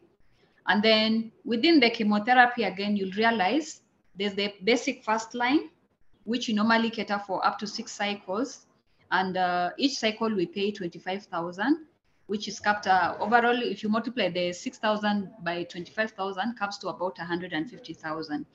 And then of course we have the complex, and uh, which is and uh, the third line, and the third line, which comes to about 150. You'll realize again per cycle is a bit expensive, and it goes up to Kenya shillings 900,000. what we cater for in a year. With that cut off, with the contributions members normally remove for 500. This is much we are able to cater for per every treatment for chemotherapy. Uh, for chemotherapy.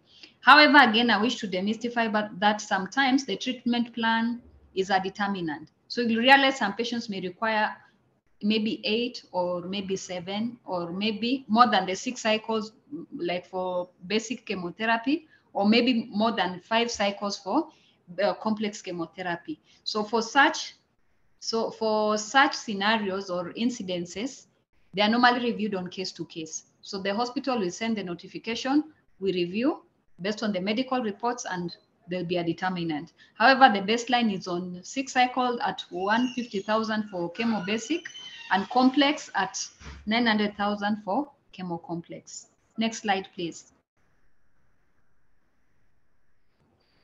Then the other benefit package you're able to access under the oncology is the surgical bit because uh, sometimes surgery normally applies just to prevent the, the spread. So, and we've categorized our surgical package into three, the minor, the major, and of course the specialized. So minor basically are those special, uh, there are procedures which are not complex per se that may require even long stay. It can be done like a daycare case.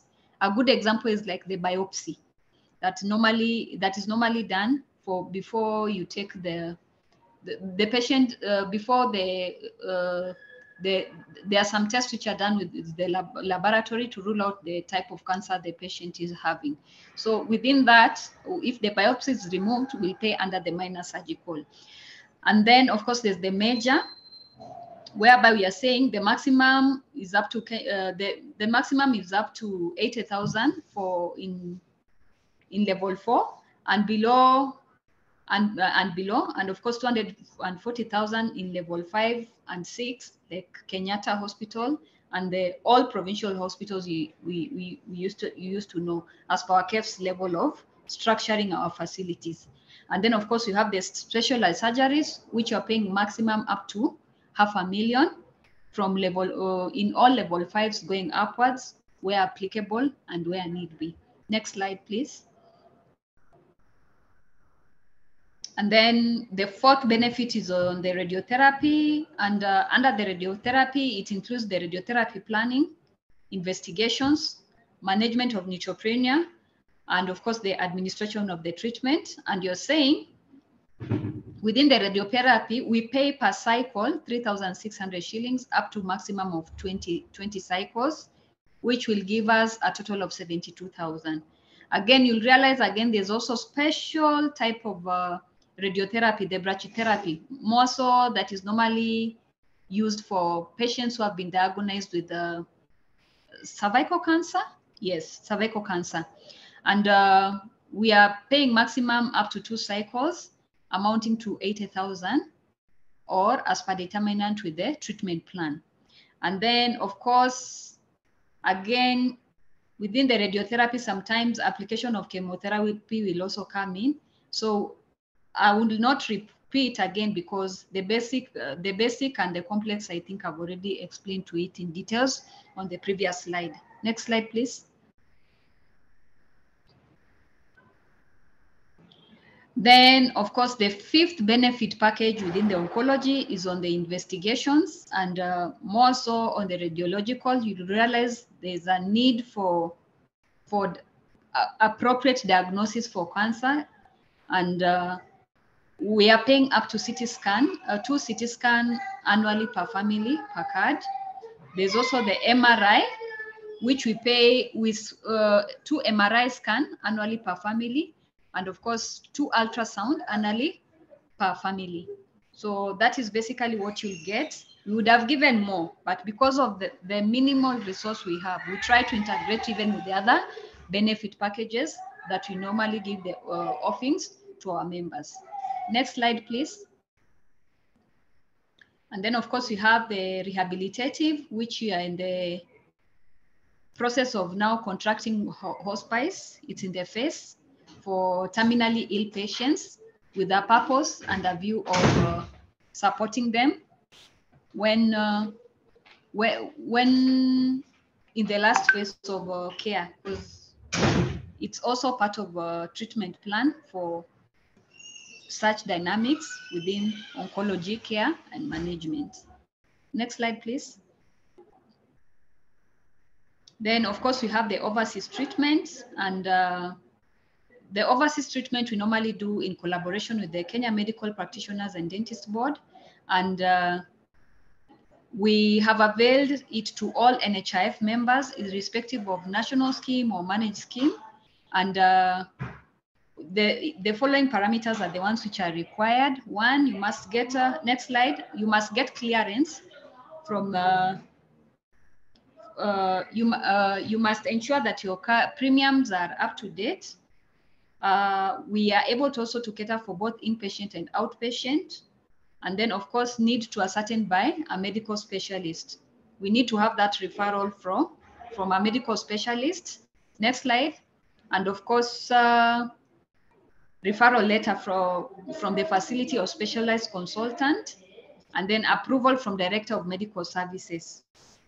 Once you, you have all those documentations in, in place for you to access the, for the eligibility, we will then coordinate as NHIF with the approved agent to assist members identify appropriate facilities so that we are able to make travel arrangements and get a pro forma invoice from the referred facility for us now to take up and pay up the whole bill.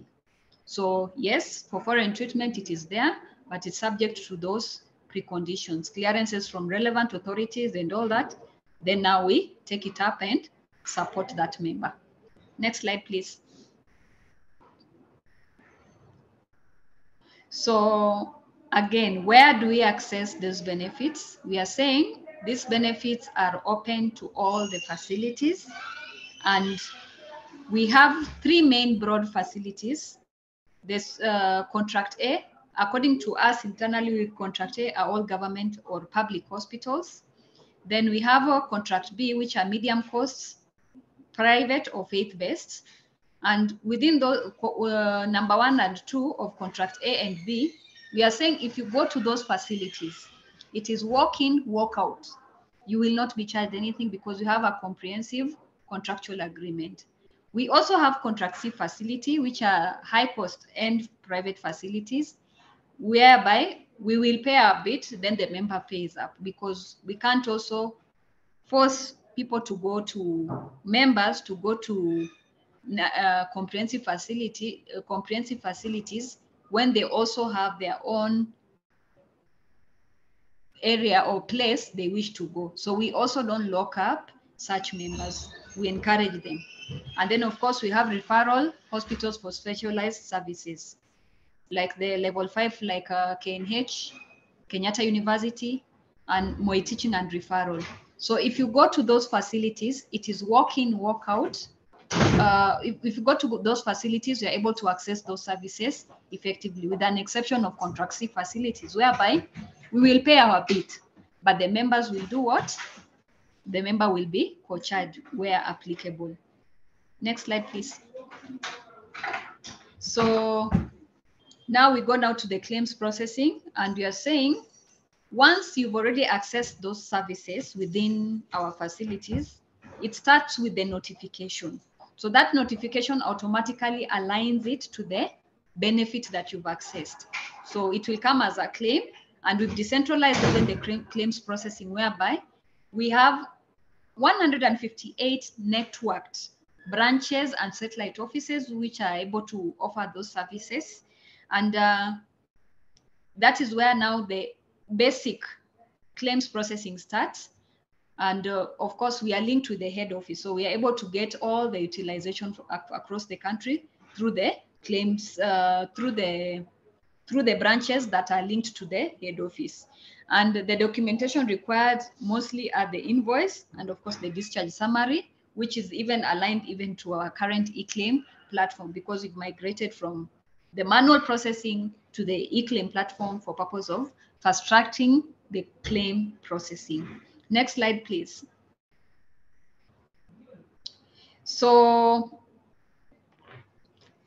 you'll realize again, Of course, there's the aspect of fraud, waste, and abuse. And uh, there has to be some form of control on how we are rolling out some of this benefit package for purpose of sustainability and ensuring quality of services are given to our members. So we are saying like for the oncology package, there are several. A good example are like the minor surgery or the daycare surgeries, optical and dental services, oncology being among them, which is the subject of today, oncology and radiotherapy, and radiological services and specialized diagnostics or tests. We are saying all these benefits, you'll require a letter of undertaking or an online pre-authorization request because we've automated the process. And then once the hospital notify, the member will be required to visit his outpatient facility for a referral letter for being issued with a letter of undertaking. So with that letter of undertaking, because you realize even the oncology package, normally they are offered in high, uh, uh, higher level of uh, facilities, maybe from level four to five. So once you get that referral, the higher level institution will make a notification. Then with that notification and all the supporting documentations, will automatically verify, do the audits with the clinicians we have internally within NHIF, then approval will be done for purpose of helping or supporting uh, the beneficiary member. Next slide, please. So with uh, those, uh, that few remarks, I wish to say thank you. But at the same time, you can also always reach us through our NHI Facebook. We normally have those live presentations, which is National Hospital Insurance Fund Kenya, Twitter at NHIF Kenya, website www at nhif.or.ke, and of course, LinkedIn, National Hospital Insurance Fund. And our toll-free line is 0800 0601. With those few remarks, I wish to say thank you. I love you all and God bless you. Over to you. I'm sorry. Yeah, thank you very much, uh, Ms. Adera Maria, uh, for gracing. I know these are rare presentations and members are, will be most grateful for yes. that overview of the covers. Um, yes. I just want to urge the panelists to stay put. Uh, we'll be taking Q&As at the end. Uh, yes. Just uh, doing a call for Sarah. Uh, Sarah is one of uh, the cancer survivors. Uh, I know we lost her at some point, I think due to network, but just think to check that she can hear us, Sarah Wangui.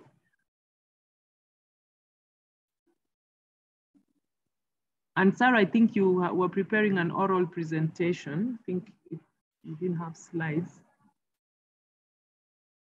If you can hear me, you can just tell us. Yes, I can hear you. Thank you very much. Uh, are you Sarah or Priska? I think this is Sarah. Thank you very much. I'm Sarah. So, karibu, karibu Sarah. Sorry for that. Uh, yeah. You, we can just give you the last 10 minutes just to tell us uh, something. I know, I know we are talking about uh, breast cancer and yeah. um, you were talking about survivorship, patient support and advocacy. What's your experience been like? Uh, we just give you a, a, some time. Thank you for joining. Come up, Sarah. Okay, I'm Sarah Wangui. I'm a cancer survivor of the breast. I was, I did a mastectomy in 2015. Now I'm battling cancer for seven years.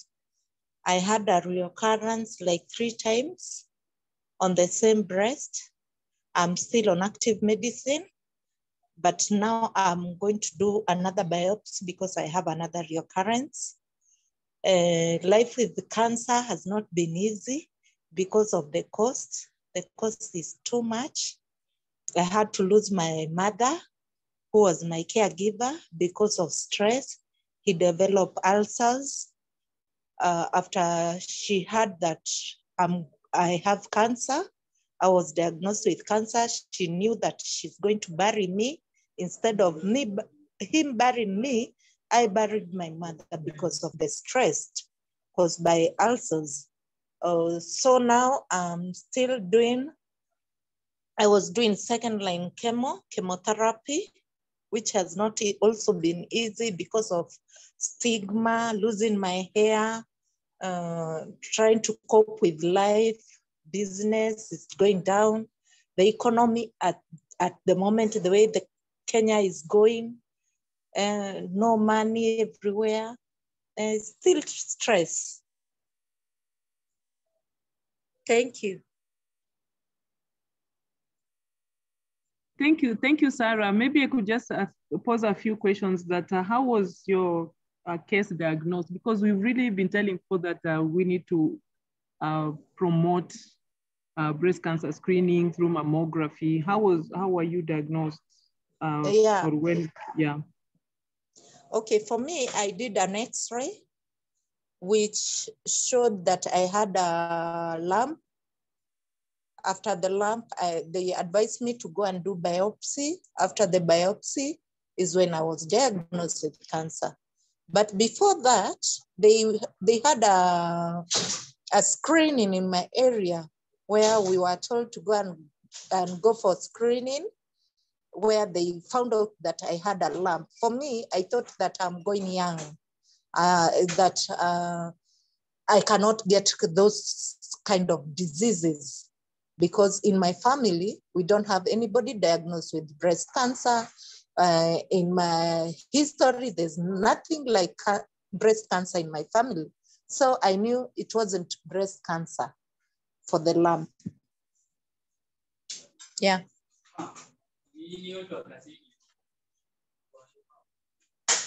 Hello. Yes, I can hear you. So uh, yeah. thanks, Sarah um, probably I'll pose, I'll pose uh, more questions that, um, that yes, you were diagnosed. Was this in a rural, what kind of a facility was this? And, and where did you get finally uh, the care? Because most patients, uh, also we know that the Ministry of Health is trying to increase access and, and treatment centers. So are you able to get this treatment within your reach in terms of uh, home area, county area? or how? Yeah. Okay.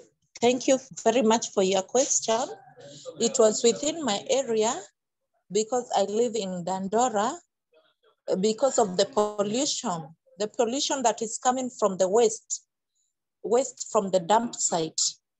It's affecting lots of people because of the climate. Huh? When we breathe in in the morning, it's it's uh, the climate is not good. That's why we have in carbon dioxide. We breathe, we breathe in bad breath. That's what causes a lot of cancers in my in my area. And after that, there's a there's no facility for cancer. There were people who came in to try to bring awareness, to create awareness in my country, in my village. Yeah, thank you. I hope I've answered you. Yes, yes, uh, you you answered. At least we're able to locate you. You're in the proximity of Nairobi, but uh, yeah. definitely you you are a person who has who has um, benefited from uh, maybe a screening program, yes. and um, of course uh, you're saying that you're getting recurrence. It depends on the stage where this was diagnosed, but uh, hopefully that you get better. So what yeah. I'll do, just stay, stay online. Um, yeah. The members listening may want to pose a question, but I would want us to now shift, um, just use the next 10 minutes. Now we are approaching 4 p.m. We should be closing these sessions, but I know various people have sent questions to our panelists. Uh, we have uh, various um, questions that I've tried to see whether we can get a quick summary of. Uh, I will allow, maybe I will pause um, two questions each to the panelists just to try and see whether we can cover ground. So um, for our NHIF, I can see many questions were about the cover. Um, and uh, some of some of these answer, some of these questions you already answered. One, some, someone was asking about uh, considering supporting home-based care for patients on treatment, and it would also be great if our patients routinely received palliative care under cover. I know you, you, you answered that one, but um, there is a question that is um, that for the cover that is the screening program that NHIF is covering, um, is it possible to make yearly screening compulsory? I know you said that that screening is under the, under what is that cover?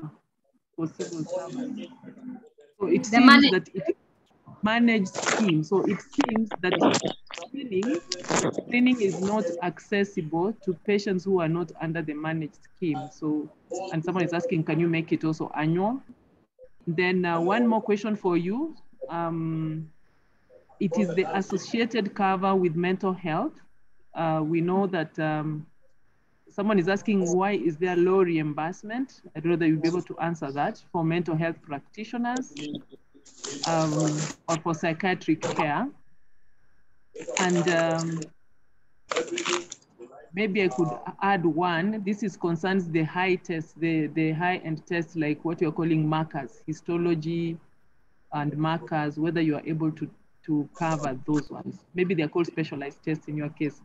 So you'll be able to answer those ones, uh, Sarah? Yes. Mhm. Marie. Yeah, Marie, go ahead. Okay, thank you.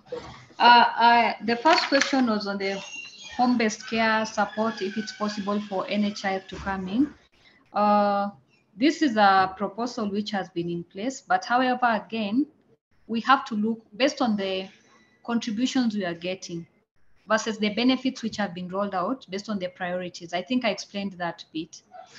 We cannot give 100% per se, but we also look at priorities. Where is the need? Everything is a need, yes, but where is it critical? However, that does not mean that we cannot do much uh, from what, what we've already put in place. Uh, the possibility of uh, probably reviewing the, uh, the, the home-based care and of course the screening program whereby once the, the statutory contributions have been increased, then we can review on case on case to case by each benefit, including other benefits like the renal package, the mental health package.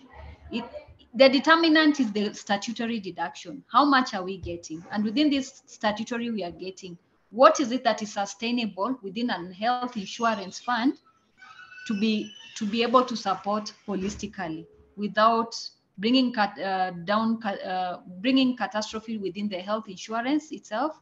And of course the healthcare providers who are offering the services and of course even the sustainability or quality of uh, care given to the beneficiaries. So behind the scene a lot of factors are normally considered in. But once the review of the statutory uh, prorated rates have been increased then these are some of the things we need to look into more so on the screening program, and of course, uh, even the markers, the histology, the, the, the specialized lab. The plan was there to introduce it, but again, after evaluation, because we normally do like a pilot project, that was in 2016, it was not sustainable. So we could not kind of proceed with it because uh, we would have gone down. But if the pool and the funds come in, then those are some of the things we need to look into because they are they are equally essential.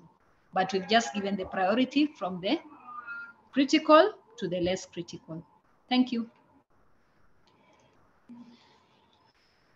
Over to you, Veronica. Thank you. Yes.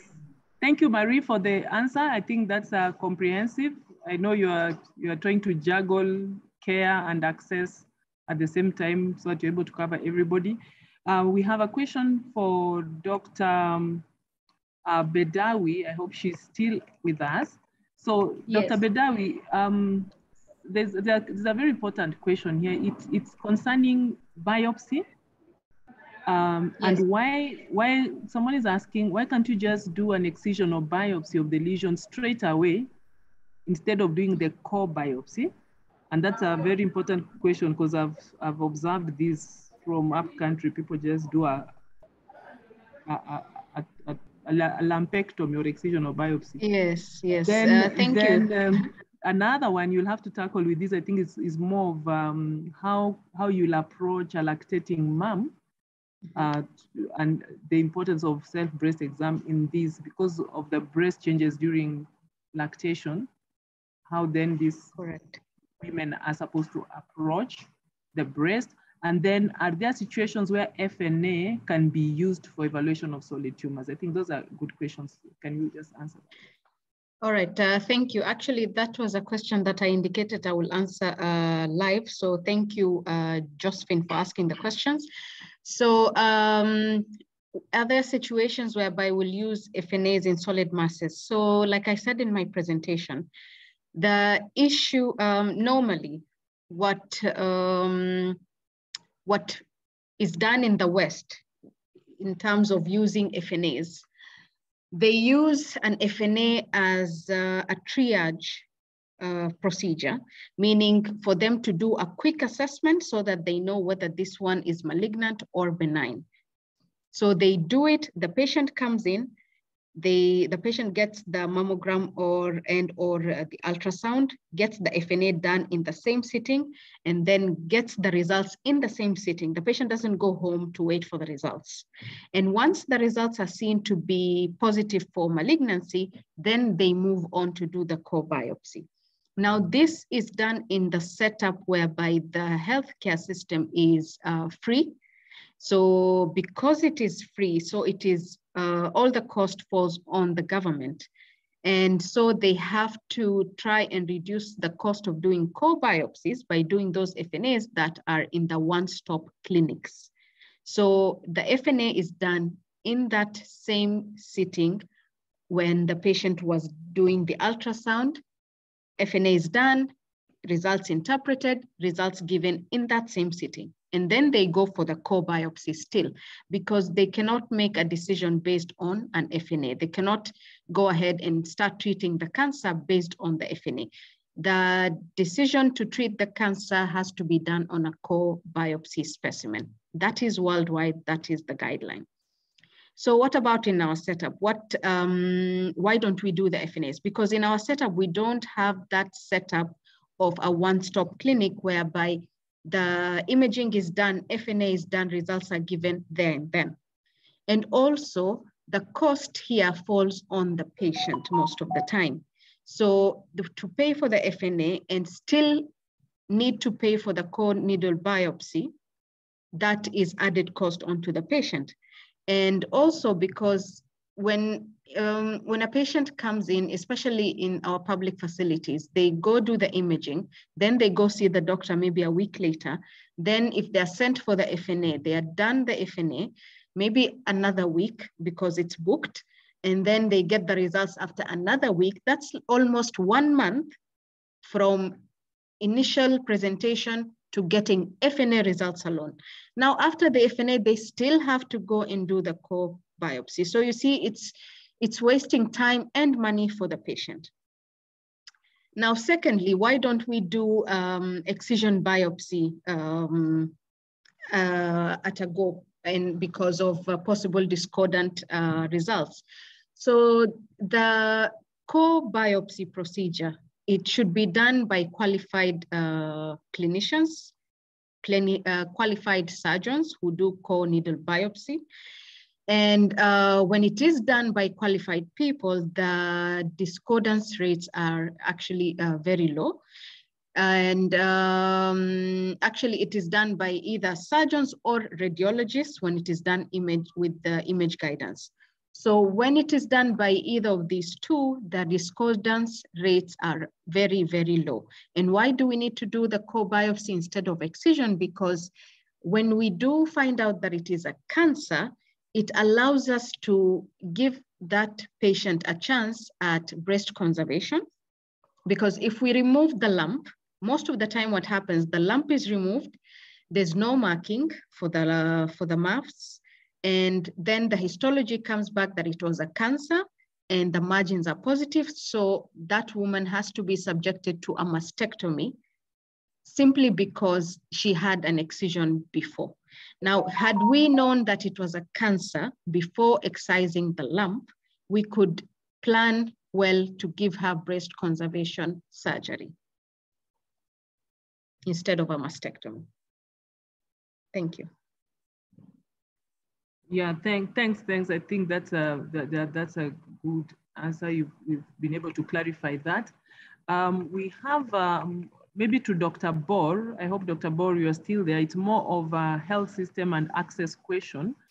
Uh, we're being asked and I think this is the debate that we normally also have, that demystify 1% access to mammography by eligible women. And someone is really um, looking at the, um, this access question. Not all counties have radiologists, not all the 47 mammograms are working. And I think you alluded to something like that. And mammography is not free. So there's a multiple issues here, but maybe you need to speak to this and uh, what the MO or the, the program is doing on that. And then we have one more question on um, uh, for screening of NCDs in rural areas. Uh, what strategy is being used? Are there any partnership arrangements uh, for that? Maybe I'll give you those two, then I proceed to the next uh, presenter. All right, thank you, Dr. Manduku, and uh, thank you for uh, the, the, the participant who has asked, you know, who the participants who have asked those two valid questions. Uh, and uh, actually what you have said about mammography is, is valid. You know, uh, it's a complex of, of, of, of, of reasons. It's not just simply that people don't want to access mammography, but it's a it's a complex or uh, it, it's a, it's compounded. It's not just one direct uh, reason. Um, as I alluded to earlier, there are these barriers, and these barriers prevent people from accessing even mammography, ultrasound, screening, even the basic screening of us, or the basic uh, um, method of early detection, which is a CBE. Uh, these structural barriers, they are sociocultural barriers, they are personal barriers, they are financial barriers. Specifically now talking about mammography, it's true we don't have radiologists. Many countries don't have radiologists and actually many of the county leaderships don't, they, they, you know, they, they, they don't understand why they should have a radiologist. Not to mention that radiologists are not that many anyway in the first place. Uh, and so what we are recommending, uh, you know, is an arrangement where counties share uh, this specialized uh, personnel. Uh, nowadays, there are even uh, radiologists who are specially, specializing in breast cancer, breast, breast imaging. There are, those are even fewer in the country. But um, if we have telemedicine or, you know, telepathology, teleradiology, those are some of the recommendations we have made and they have come out in our breast cancer action plan. Maybe if we have those arrangements where um, the, mam the mammographies are done in the counties by a trained radiographer and then sent for reporting to a specialized uh, person like a radiologist or a breast imaging specialized radiologist through a telemedicine arrangement. That is one of the way we can overcome uh, the structural barriers. To overcome the social barriers, we need to keep educating our, our, our, client, our clients. And actually, when we did the breast cancer uh, screening uh, awareness and, and, mammography screening pilot, which was in uh, Nyeri County in 2019, one of the things that we learned from that is that um, community strategy is a very uh, powerful way of educating the community through the CHVs, community health volunteers. So we are putting in uh, resources there in terms of we have done uh, we have done manuals for training CHVs on cancer in general and more Hello? specifically on on cervical hey. cancer. Mambo we are still, we are still we are still working on uh, we, we are still looking to get resources so that we can uh, we can develop a specific manual for breast mm, cancer but what we have already covers quite a bit uh, so if we train our okay, community health workers, they have we have seen that they are very useful resource. In the leo sitaweza even the use of unless I ask um, someone to come sit maybe, niko kwa meeting. Maybe I can request uh, eh, na alafu I have to go to Nyali. You can mute. I leo don't know. Yeah, maybe you can mute. Please mute, Maria. Yeah, sorry for that. But I was saying that uh, also what we learned in Nyeri in the pilot is use of social media, WhatsApp groups, Facebook. I know you are in a WhatsApp group, wherever you are, how many, I don't know, but those are very powerful tools. Uh, information flows very fast, you know, through the WhatsApp and through Facebook and so forth. So those are some ways we can overcome social cultural barriers. Uh, uh, for the personal uh, issues, we need those ones need to be addressed through behavior change communication. There are various strategies and even that interpersonal uh, communication. And the CHV is still very powerful here. Uh, and, and also using uh, people like Sarah who have gone through a breast cancer, they have lived through the experience. They can share the experience as a way to encourage those who have not been screened to actually take up screening. On financial, we are still talking to NHIF so that they can consider screening. Um, but I know that there's a lot of pressure on them on many things. But one thing that we are also trying to do is to make sure that uh, cancer is, is anchored uh, in PHC, in primary healthcare, and in UHC. UHC, universal health coverage, you know, it was uh, it is a big agenda of government and uh, continues to be. And one way, uh, you know, it has been said that this will be attained through primary healthcare. And this brings me even to the second question, which was asked to me, which was uh, about how do we improve or increase access to screening for non-communicable diseases, NCDs, uh, at the lower levels of care. Uh, I'm not sure I got it very well, but uh, what came to my mind is um, that through, um, through uh, primary healthcare, through breaking down our interventions to what can be done at the lowest level of care, because most clients, most patients are seen at the lowest levels of care, then through reaching that level, we can uh, reach more people for screening. And you know, screening is using simple tests. And so for, for uh, breast cancer, our action point, our action plan emphasizes on the use of uh, CBE, clinical breast exam. We know that it is not a screening, but it is for early diagnosis and downstaging of breast cancer so that we can diagnose at least 60% in stage one and stage two. So we are looking at that and the action plan even outlines what is needed for that to happen, which includes healthcare worker trainings, which the ministry is mandated with, and we are actively looking for resources so that we can train various cadres of health workers so that we can be able to improve, uh, uh, you know, the screening uh, coverage and even the coverage of, for the uh, clinical breast examinations. I let me let me leave it there for now. Thank you. Thank you, thank you, Daktari. Um, I would leave maybe this is the last question, uh, maybe to Dr. Uh, Mose. I think there's a critical question. I think it's more of explaining why we have this cutoff of 40 years um, and, and why we, we, we say we need to do mammography at 40 years. And then what happens to the younger? I think in your presentation, you, you we talked, the younger age group was also covered. But as you're answering the age question, you can also answer about the a fibroadenoma, whether that can become cancerous, and um, and talk speaking to male breast cancer. I think there was a question on that.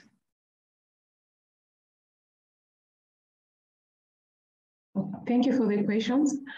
Uh, so let me start with the fibroadenoma. Um, it's a benign lesion with very minimal uh, risk of malignant transformation. The risk is about 0.03% up to 0.0 up to 0.1%. So very, very, very low risk of malignant transformation, which is why um, most in most cases we term them benign lesions and we just follow up the patient. However, when you have fibroadenomas which appear large in size, like greater than 2.5 centimeters, we'll still recommend a biopsy um, so that uh, we are sure about the, the tissues types, tissue type that you're dealing with. Um, another reason that may warrant us to do biopsy for these lesions is when you have a patient who's very, very anxious and uh, I, I think you just may want to to allay their fears, in such cases, we also have the biopsy done. Uh, we have cases where we have fibroadenomas that may have the general appearance of a fibroadenoma, but you see subtle differences in imaging. Maybe one of the margins may appear slightly obscured or angulated. Um, in these lesions, sometimes we even call them atypical.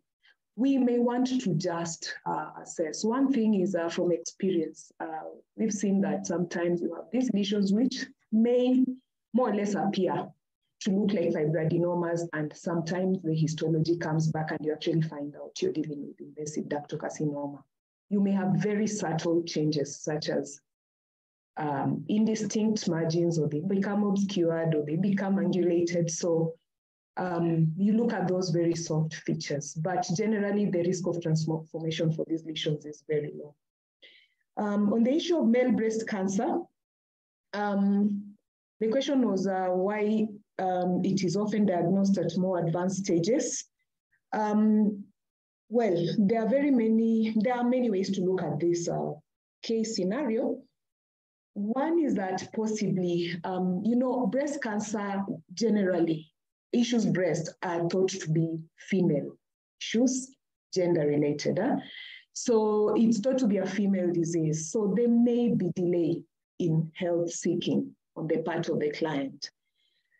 Um, the other issue is there's also the lack of public awareness of the breast cancer occurrence in men. A lot of people out there actually think this is a disease for females. So even when you see some small changes in the breast, most of the time somebody might just, you know, wait it out and say this thing will disappear.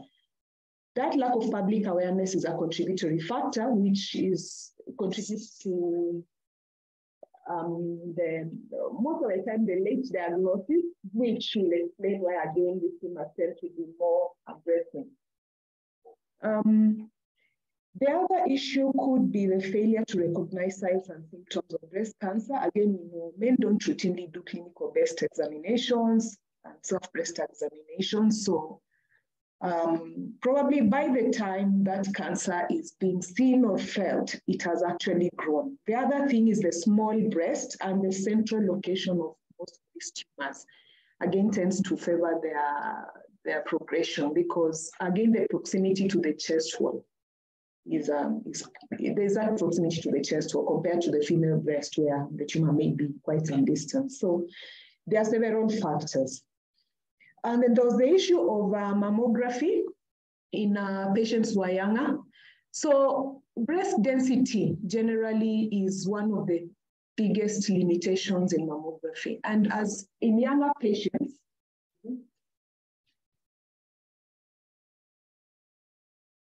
in younger patients, we tend to have uh, dense breasts. Um, I, as I said earlier, when you tumors, generally breast tumors on mammograms will appear white. Fibroglandular tissue, which is what uh, uh, gives the breast that density, also appears white.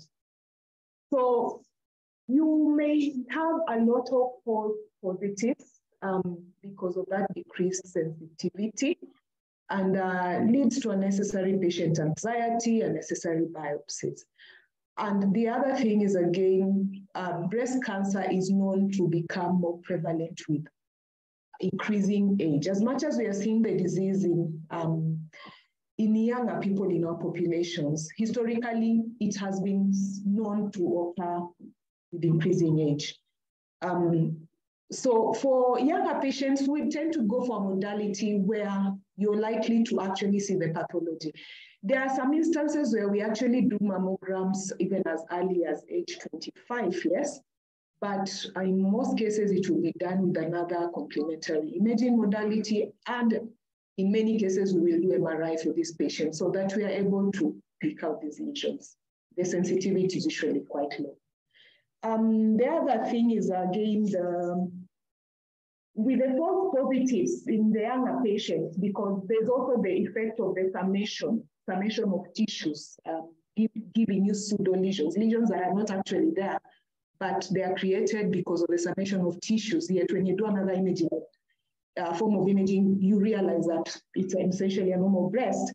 you have increased patient anxiety, you have more biopsies. So um, from literature, when you read um, studies that have been done elsewhere, um, the, actually the role of mammography in very uh, young females um, is very limited. So we tend to go for modalities that, that will be beneficial.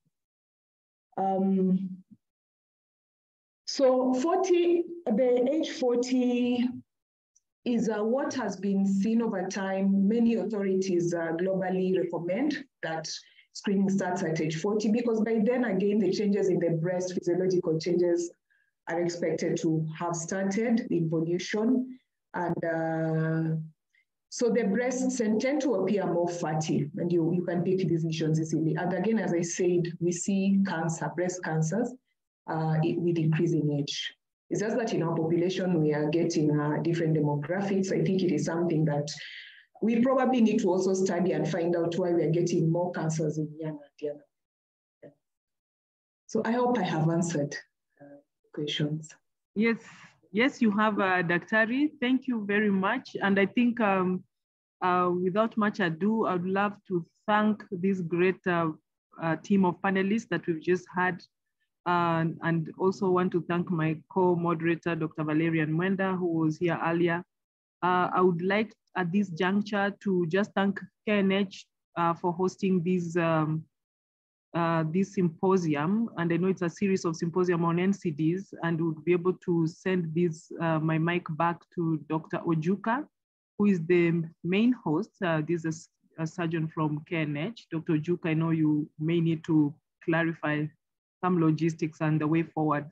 And I want to thank our dear participants who have been patient, uh, being able to listen in and uh, look out for more talks from the NCD, um, the NCCP program, uh, because as they continue to do awareness for breast cancer, cervical cancer, and any other cancers like prostate cancer. So welcome again uh, for these talks, uh, this kind of talks. Thank you very much. Dr. Ojuka, I believe you can take up the mic now. Thank you, uh, Dr. Veronica. Uh, appreciate your moderation together with Dr. Valerian Mwenda. Uh, also want to thank um, JP, Mariam, Linda, Christine, Sarah, and Maria uh, for a very good presentation. I think it's a wholesome presentation of uh, the situation in terms of breast cancer. And I think as um, Christine Mugo and uh, Maria indicated, the issues of uh, advocacy for cost and advocacy for other things are, are ongoing things, and we can all be involved. So I also want to thank each and every one of us who uh, stayed, who came, who stayed, and who participated in terms of asking questions. Uh, we meet tomorrow again from two to five again to just consider hematological uh, issues which are still non-communicable diseases that are on the increase. Uh, I thank you and have a great evening.